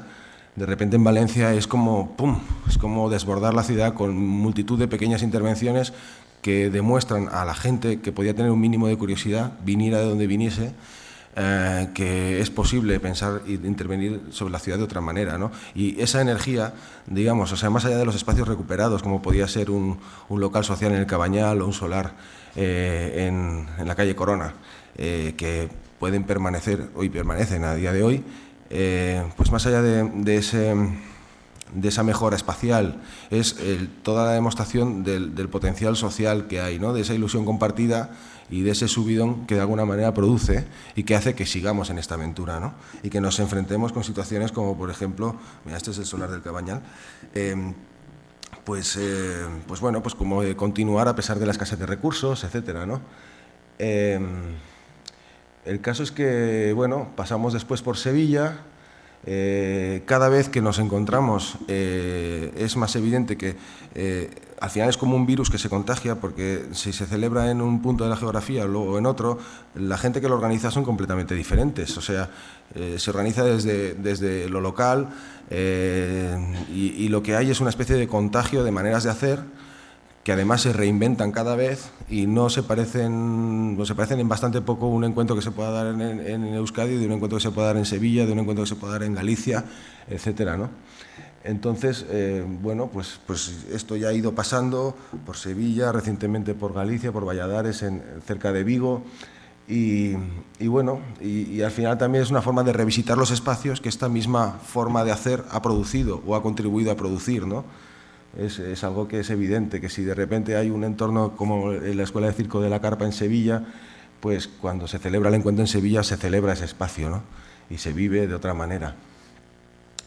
Este es un, resumen fotográfico inclinado del encuentro de Galicia y un poco el ambiente que se vivía una vez más. ¿no? Em, bueno, yo a lo que iba, al fin y al cabo, es hablar de las tecnologías, ¿no? que es lo que nos ocupa hoy. Lo que pasa es que de alguna manera para mí todo esto que, hemos ido viendo también son tecnologías, ¿no? El hecho de quedar en un sitio, de montar una intendencia, de montar un poquito, bueno, buscar alojamiento para la gente, de hacer montar una programación, de montar unos talleres, pues también forma parte de la tecnología. Em, de, hablar sobre los proyectos que se han desarrollado en colaboración, de cómo, por ejemplo, se han repartido los recursos, los propios recursos materiales que salen de un sitio y se llevan a otro. Eh, de, cómo se producen los flujos de, gente para ayudar en distintos proyectos, ¿no? Cómo un colectivo sabe que si va a ayudar a otro, a otro grupo de personas que están en la otra punta de, la península, de alguna manera, aparte de hacer algo que le apetece y de aprender a hacer cosas, sabe que después, eh, cuando le toque a él, pues va a tener un poco la concurrencia de los otros y de más allá, ¿no? No sé si me explico, pero es algo como, como bastante evidente, ¿no? O el reparto de materiales, ¿no? O sea, eh, partimos de una situación en la que prácticamente nadie tiene un presupuesto mínimamente decente, ¿no? pero plantearse que eso no tiene que ser obstáculo para poder hacer. Entonces, eh, lo que estamos haciendo ahora es una herramienta online que sea un poquito el lugar de referencia, el lugar permanente de encuentro, porque como habéis visto, nos vamos, o sea, como red nos hemos ido encontrando, sobre todo al principio, de una manera muy esporádica, pues cuando había un proyecto, cuando había una construcción, o cuando había un encuentro, o cuando había un taller, o como por ejemplo ahora aquí. Situaciones que, también se van aprovechando ocasiones, ¿no? Pero nos faltaba eh, un, lugar, eh, un lugar permanente en el que en el que de alguna manera en el que de alguna poder asistir en cualquier momento y sobre todo un lugar para trabajar online, para poder eh, compartir recursos, para poder compartir impresiones, las experiencias, para mantenernos informados, para convocar, etcétera, ¿no? Y entonces esto es un poco lo que, lo que hemos hecho recientemente y que, y que está en, en esta web que, que se puede encontrar en arquitecturascolectivas.net. Eh, como os comentaba, ayer celebramos un taller de cuatro horas en el que la gente que asistió, pues de alguna manera vio realmente y pudo mm, de alguna manera iniciarse en el uso de esta herramienta. Esta herramienta eh, tuvo una primera fase que más o menos duró desde el encuentro de Pasaya hasta ahora, en el que no ha acabado de despegar y que nos hizo reflexionar si realmente tenía sentido o no eh, esta lucha por, por implementarla, ¿no? Porque lo que ha ocurrido es que el desarrollo de esta red de colaboración se ha dado eh, coincidiendo con el despliegue de las redes sociales propietarias y de las herramientas como por ejemplo Google Docs, Google Drive, o sea, todo el paquete de herramientas de Google, etcétera, que de alguna manera eh, hemos estado luchando contra un gigante, ¿no? Y no porque quisiéramos presentarse como alternativa, esto es otra cosa, pero, pero sí que eh, la misma masa crítica de personas vinculadas a la red que se vuelcan cuando hay una situación de trabajo o cuando hay un encuentro, em, a la hora de usar estas herramientas digitales que desde un cierto grupo de la red proponíamos, pues ha sido bastante limitado. Y no nos extraña porque realmente es, em, o sea, plantear un colaboratorio, un lugar de encuentro, un lugar de trabajo eh, en la situación actual, eh, en los últimos años, eh, cuando realmente la gente estaba comunicándose mediante Facebook, Twitter y utilizando herramientas de compartición de, archivos que, iban por otros derroteros, pues realmente es, es, lógico. Entonces lo que dijimos es o echamos toda la carne al asador o nos vamos a casa en el tema este de la herramienta online, ¿no? Y decidimos por lo segundo, perdón, por lo primero. Entonces, claro, ahora mismo acabamos de liberar eh, y de publicar la, versión beta de la herramienta, que no es esta, estas son las situaciones de trabajo, alguna cara conocida ya veréis. Em, y un poco como, em, bueno, pues em, el caso es que eh, que hemos tenido que apostar fuerte, porque realmente era, era como realmente vamos a, intentar montar una plataforma de trabajo que sea, eh, como decía Gorka, sexy, sugerente, eh, insinuadora o seductora, suficientemente como para que la gente de alguna manera mm, vuelva su atención sobre ello y, eh, y estimule su uso. ¿no?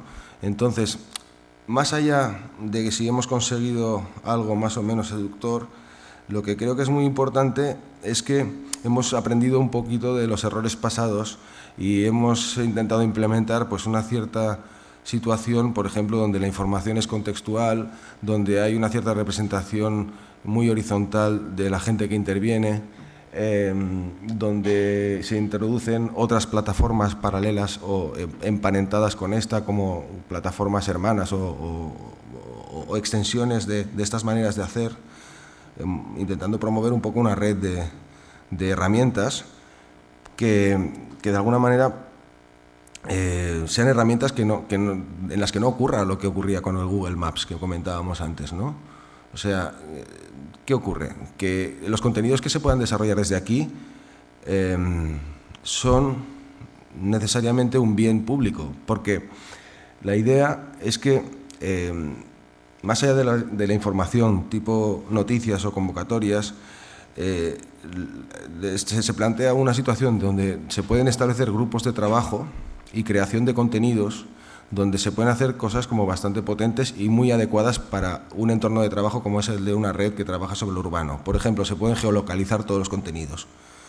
En cualquier contenido se pueden vincular eh, galerías de imágenes propias o se pueden subir vídeos o cualquier otro tipo de archivo vinculado, de forma de que eh, para alguien que, tiene que trabajar durante unos meses en un proceso, viene a ser algo realmente interesante, entendemos, porque uno puede estar mm, creando una bitácora de actas, de decisiones, de documentos hechos colaborativamente, incluso en diferentes formatos, eh, puede, como decía, geolocalizar cada elemento, em, hay herramientas de comunicación tipo chat, etc.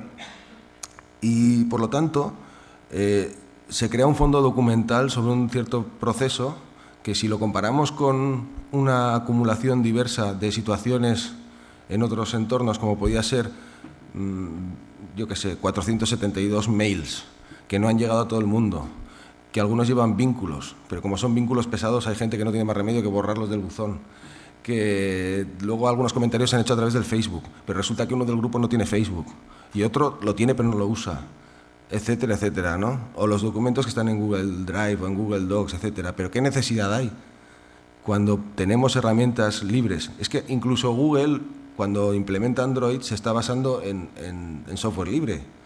O el, sistema operativo del Mac, desde el, Mac OS 10, es una adaptación de otra forma de software libre. El software libre como tal, o sea, como herramienta, como capacidad y potencia tecnológica se podría decir claramente que es como mínimo igual de bueno que cualquier software propietario. Yo diría más.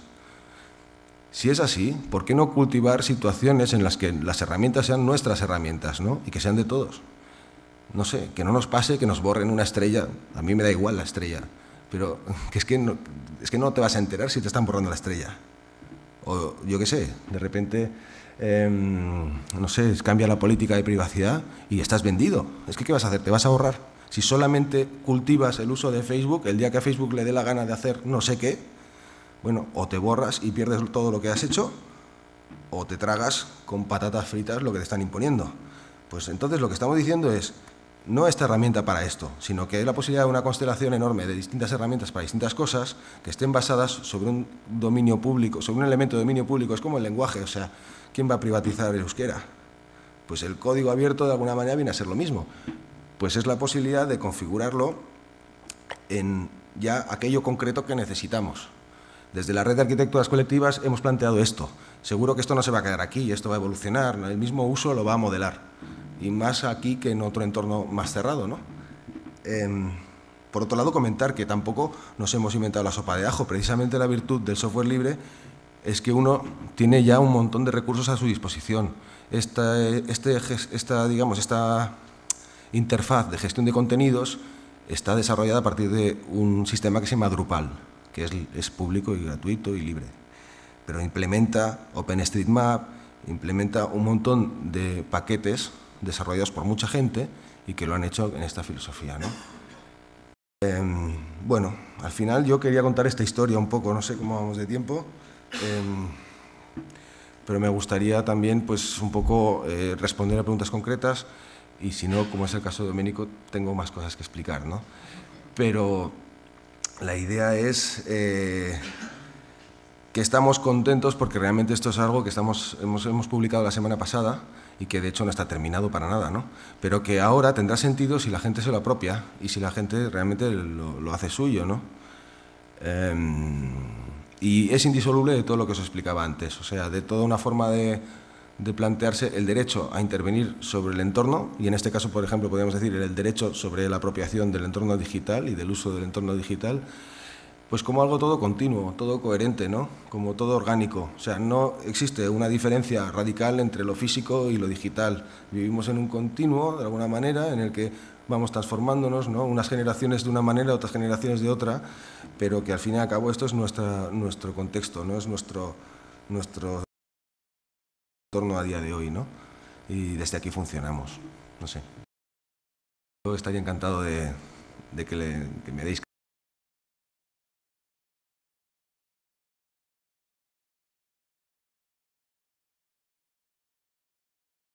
Todos a la vez. Bueno, por ejemplo, eh, una de las cosas que, como veis aquí, hay una referencia, esto es solamente un pantallazo, ¿no? Y ni siquiera es lo que hay a día de hoy, pero se parece mucho. Por ejemplo, ahí veis una referencia a Think Commons, esa columna de la derecha eh, es la columna que es un poco la zona de asuntos exteriores, ¿no? Pues, por ejemplo, veis Think Commons y veis Twitter y veis una web externa que es la web de Sevilla, del encuentro de Sevilla, de la propia red de arquitecturas colectivas, pero son sitios web o plataformas que no son esta, pero que se, que se quieren referenciar desde aquí porque se consideran muy valiosas. ¿no? O sea, además tiene mucho que ver con lo que aquí se trata. Por lo tanto, entendemos, o sea, nos tomamos la libertad de, incluirlas no sé, supongo que, está bien que así sea. Eh, al final también no estamos hablando de un, entorno, cerrado, sino de que todo está como muy conectado. O sea, si de repente alguien publica cualquier noticia, puede hacer una referencia a su propia plataforma, a su propia red, a su propio perfil, no sé dónde, y, y se trata como de, entrelazar, ¿no? Eh, tenemos conexión, quizás también nos podría enseñar ya cosas un poco como concretas, ¿no?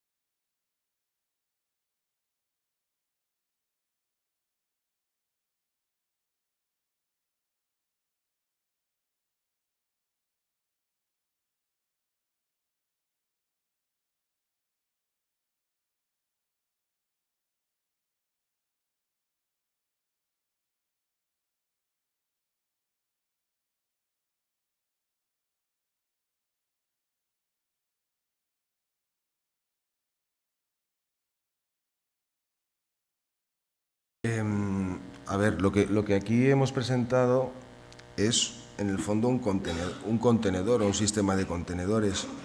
Eh, la idea es que mm, cuando uno se conecta al sitio, eh, se conecta como un usuario anónimo, o sea, como alguien que no se ha registrado en la página. Y esto pues da un resultado determinado, que es el que podéis ver aquí, donde primero en la dirección por defecto lo que aparece es una una especie de sumario, pues es, no es una sección en particular, sino que es la página de inicio donde vemos un, un poco un resumen de todo lo que, de todo lo que hay por detrás, ¿no? o, de, un resumen al fin y al cabo de, lo que hay por detrás. Entonces, eh, tenemos como distintas zonas eh, en las que tendríamos la zona de noticias, y la zona de convocatorias, que juntas conformarían la zona un poquito que podríamos llamar de información o de actualidad, eh, y, que, bueno, que es lo que hasta ahora, incluso en la versión anterior, ha funcionado más, ¿no? Pues es, donde más la gente lo entiende rápidamente qué es lo que puede hacer, y es una web que cualquier usuario ya registrado puede publicar. Eh, nuestra política es, un, es, como muy, digamos, estamos en una red que entendemos que es muy abierta y que la idea es que, que a priori la publicación es libre. O sea, que, delegamos en, cada persona, en cada usuaria, el criterio de, de, de, decidir un poco si lo que quiere presentar es algo eh, relacionado con todo este entorno y hasta ahora ha funcionado bastante bien. También, al fin y al cabo, eh, más o menos nos conocemos y, sabemos de lo que, estamos hablando ¿no? cuando... Eh, a nosotros lo que nos parece bueno, novedoso aquí es que cada vez más la información viene contextualizada y aunque aún no hay una cantidad de información importante porque la versión esta es nueva, bueno, no, una, cantidad de información importante en, en la nueva dinámica, eh, la historia es que cuando alguien de alguna manera vaya a interesarse por un tema en particular y vaya a parar una noticia, una convocatoria, inmediatamente le va a aparecer noticias relacionadas y va a poder estirar del hilo de por dónde va esto y si, por ejemplo, se interesa sobre la recuperación de patrimonio industrial, pues va a poder visitar distintas cosas. ¿no? En un futuro próximo seguramente podría pasar de Batlló a, eh, a, lo que se está haciendo en Eibar o a la fábrica de toda la vida o a otros entornos, incluso de iniciativas de fuera de, este, de este ambiente de la red de arquitecturas colectivas y ver un poco tal. Más allá, por ejemplo, tiene la referencia a una plataforma exterior que se llama Incrisis y, y enseguida podría ver que si se, le interesa la recuperación de espacios productivos de una manera participativa, pues hay una plataforma dedicada que la han hecho gente que pertenece a la red, pero que la han hecho, digamos, fuera de este contexto de arquitecturascolectivas.net y que se llama Incrisis. ¿no? Eso es un ejemplo de que si va por ese camino, va por ese camino. Pero si le interesan talleres que se hayan celebrado alrededor de esta idea, eh, pues también va a encontrar, o un poco fijarse más en eventos, o si lo que le interesa es la recuperación de solares o, de espacio público, pues va a encontrar otro tema. Si, eh, si por ejemplo, em, el, interés principal es sobre vivienda, pues después de, ver, después de ver una serie de noticias que sí que van a estar sobre iniciativas relacionadas con la vivienda, eh, van a poder encontrar que hay una plataforma dedicada, también desarrollada por miembros de la red, que se llama Más que una casa y que es sobre la construcción colectiva del hábitat también, ¿no? Sí. Hombre. Hola.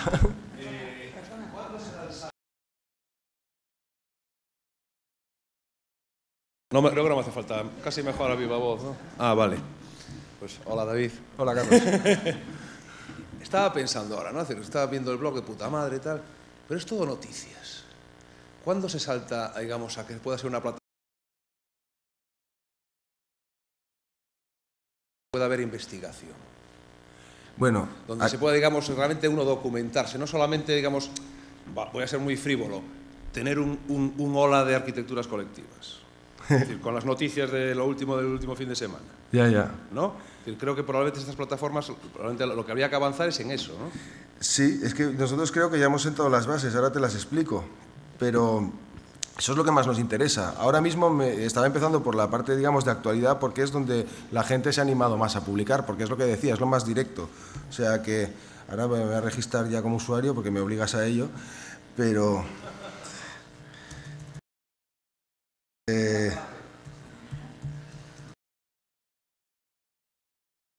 orden de apellido.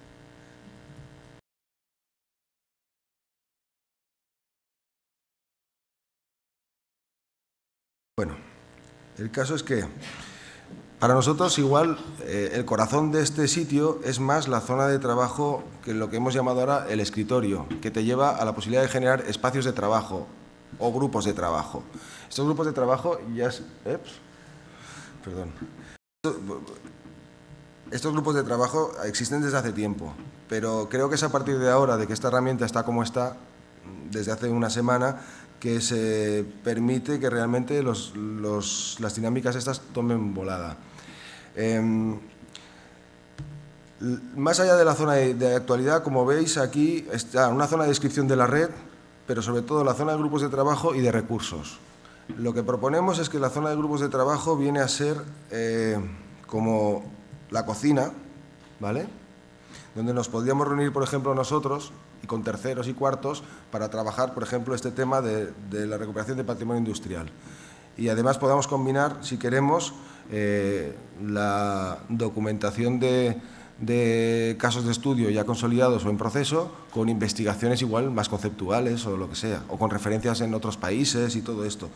Entonces, generaríamos un fondo documental dentro del grupo de trabajo eh, donde lo que pasaría es que mm, decidiríamos qué contenidos de ese grupo de trabajo nos interesa publicar, o bien como noticia o bien como recurso. Pero si lo publicamos como recurso, pasaría a la zona de recursos y allí se acumularía y se organizaría junto con otras muchas cosas. Entonces, ahí coexistiría lo que estaríamos produciendo desde ese grupo con, por ejemplo, la guía para la recuperación de inmuebles que ha preparado Paco Payardó, el abogado valenciano o bien con otras guías de activación de espacios y de recursos jurídicos.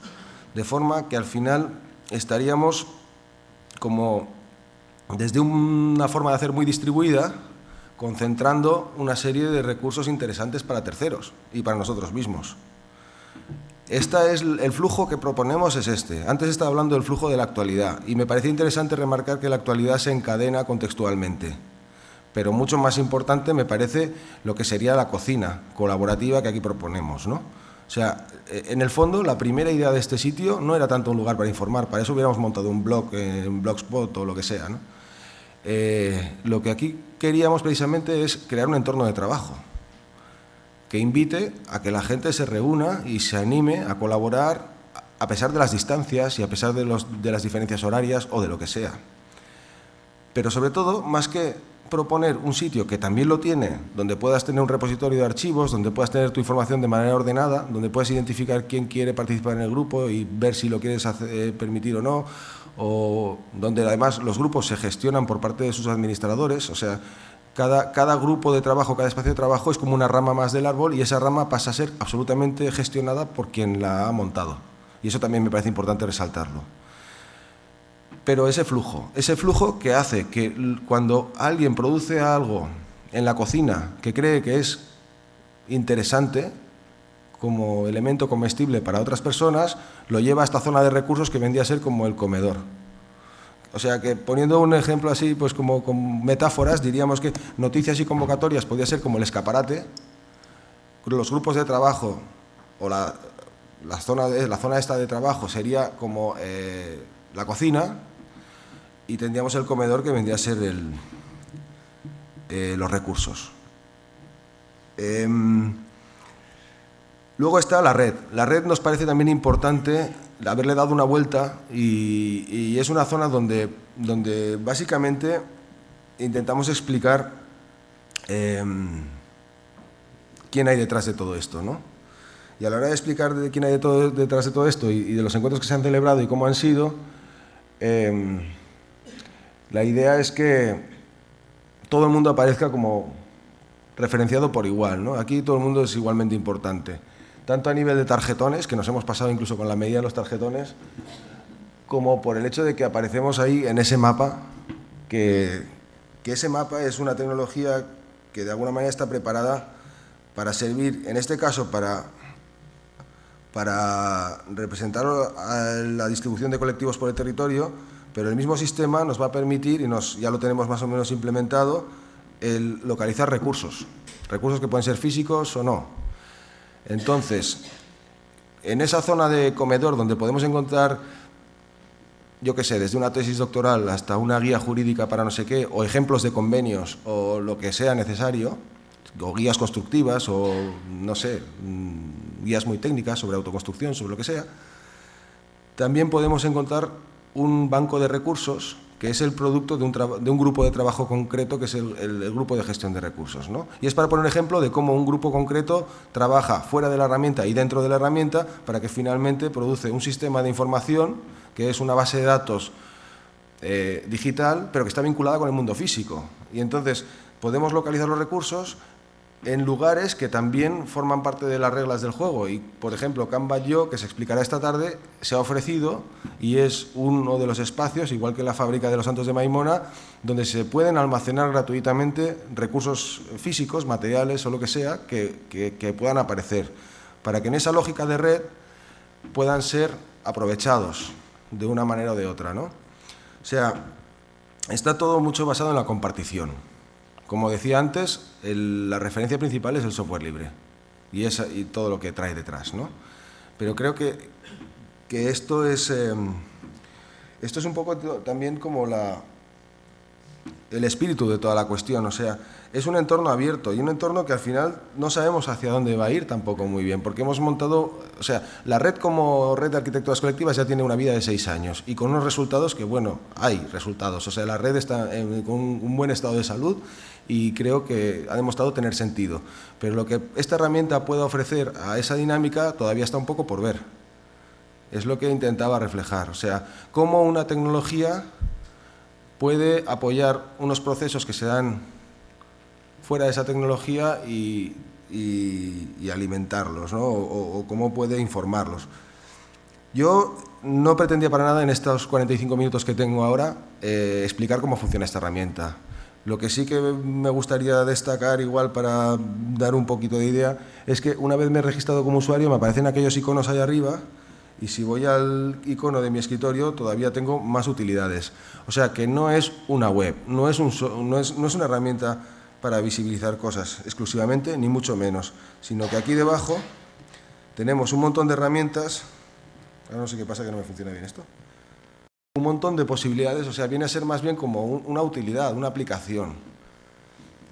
Y, y yo creo que ya, un poco para concluir, decir que poco a poco vamos viendo cuál es el sentido de todo esto frente a aquellas observaciones o críticas que se nos podían hacer en algún momento de que por qué tenemos que proponer una herramienta más cuando estamos rodeados de herramientas, ¿no? Bueno, pues lo que, lo que respondimos en un momento es, no estamos inventando la sopa de ajo, como he dicho antes, estamos basándonos en, en utilidades que ya existen y las estamos implementando juntas y estamos montando un conglomerado que ya está tuneado y preparado para un entorno de trabajo concreto que es la red de arquitecturas colectivas. Por lo tanto, está optimizado para estas formas de hacer. Pero además, lo que estamos haciendo es un poco concentrar, concentrar los recursos, darle todavía un poco más de coherencia o de conexión entre sí a los distintos elementos de la red y, un poco al final autorrepresentarnos también. ¿no? Otro debate que se ha dado mucho es cómo te ven desde fuera. Pues yo creo que lo más sano es que tengamos una herramienta que nos permita representarnos bien hacia afuera y de la manera más rica posible y de la manera más horizontal posible. Entonces, al final, lo que, este, esto es un entorno. Y ese entorno no nos lo da ni Facebook ni ninguna otra herramienta de las que podíamos tomar como posibles alternativas de funcionamiento a, esto. Eso es lo que me gustaría resaltar.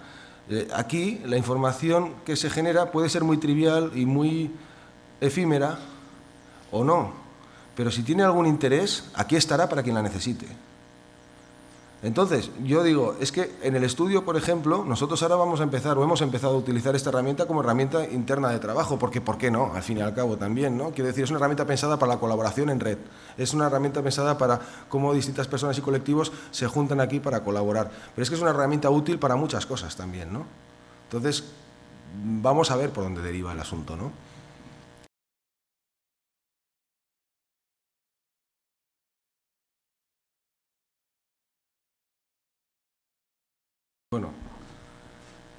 Me pregunta si para la colaboración en red nuestra o cualquiera. Nosotros entendemos que es para la colaboración en red de una red que es abierta, que es la red de arquitecturas colectivas y que va sobre la construcción participativa en términos de realidad participativa de- del entorno urbano.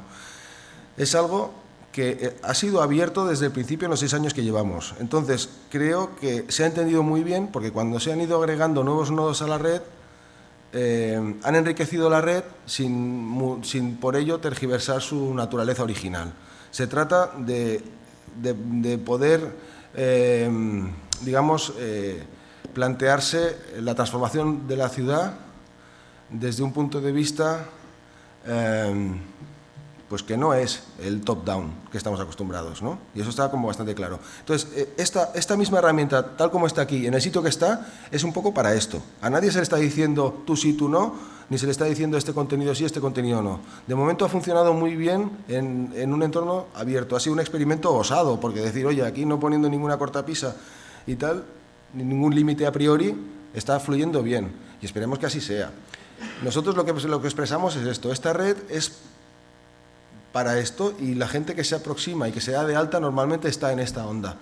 ¿Que esta herramienta es interesante para otros entornos de trabajo? Pues entonces pues se puede hablar de replicarla o de hacer una versión diferente o lo que sea y estaría muy bien. Simplemente esta de aquí está abierta para quien quiera trabajar un poco en esta dinámica.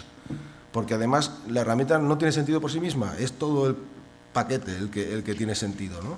Por eso me parecía muy interesante empezar hablando del derecho al hábitat y de cómo nosotros hemos entendido eso, incluso con un contexto histórico, para ver cómo lo que se está pretendiendo aquí es, es como recuperar la capacidad para intervenir sobre la ciudad, ¿no? que realmente exista un derecho al hábitat eh, eh, distribuido, ¿no? que nosotros estamos trabajando desde hace seis años o más pues con, esta, con esta finalidad. No sé si te he respondido muy bien.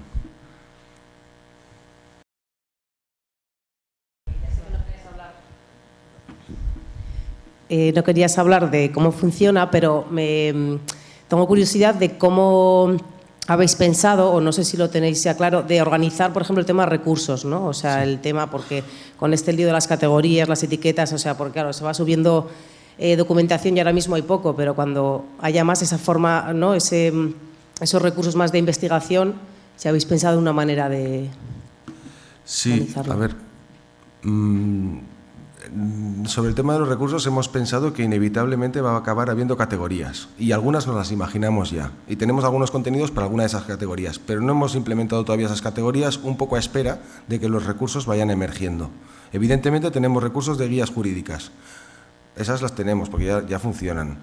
Eh, poco a poco parece que van apareciendo recursos de guías técnicas o de manuales técnicos.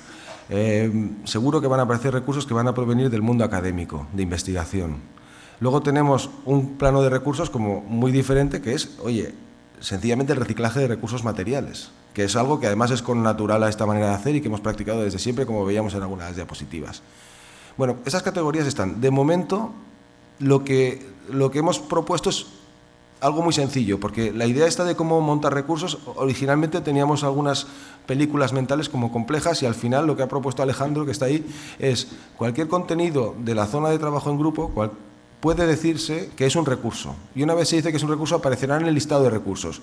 Así que engrosará un corpus que de alguna manera nosotros vamos a tener como que ir categorizando es un poco como los grupos de trabajo. Yo también intuyo que los grupos de trabajo a la larga se pueden categorizar. Incluso estamos empezando a pensar diferente. Hasta ahora siempre hemos pensado en términos de grupos de trabajo un poco influidos por la forma de hacer del software original, pero cada vez más estamos pensando en espacios de trabajo en lugar de grupos. Porque al final tú puedes decidir que tú crees que tú sola crear un espacio de trabajo para un proyecto tuyo y no le vamos a llamar grupo si eres tú sola, ¿no? pues es una, es una cosa, al final ha mutado, ha mutado porque antes teníamos un entorno de creación de contenido tipo exclusivamente eh, actualidad, noticia, y luego teníamos como distintas maneras de crear contenidos para trabajar. Ahora hay una única forma de crear contenidos que es muy rica y que se ha montado un formulario de la creación de contenidos, que si queréis os lo enseño así muy rápidamente, que al fin y al cabo eh, es única y está súper centralizado. Y tú puedes ahí crear desde una guía de no sé qué a, una entrada de geolocalización para indicar que hay un material no sé dónde, a, después a vincularle pues un texto enriquecido de cualquier tipo, por supuesto, pero luego pues etiquetados para categorizarlo a nivel eh, semántico o contenidos adicionales que pueden ser desde enlaces web externos a galerías de fotografías, documentos de cualquier tipo, vídeos, etcétera, ¿no? Si a esto le añadimos, pues no le añadimos, le, damos ese factor que tú puedes decir si es un recurso o no, pues es como que a partir de aquí puedes hacer prácticamente todo. Eh, esto también ha sido como el, resultado de, bastante tiempo de darle vueltas al asunto, ¿no? Al final dices, es que al final no era tan complicado. Y entonces quizás ahora nos encontramos más bien en lo segundo, cuando empieza a haber una riqueza importante de contenidos, cómo estos se van a organizar. Evidentemente la web en sí misma ya es una propuesta de organización de contenidos, pero seguramente en el futuro va a tener que complejizarse un poquito más para responder a lo que vaya apareciendo. Vale, eh, David, vamos a dejarlo aquí si te parece. Podemos seguir hablando tomando un café y retomamos a las doce y media, ¿vale? Es que ricasco. Un aplauso para David.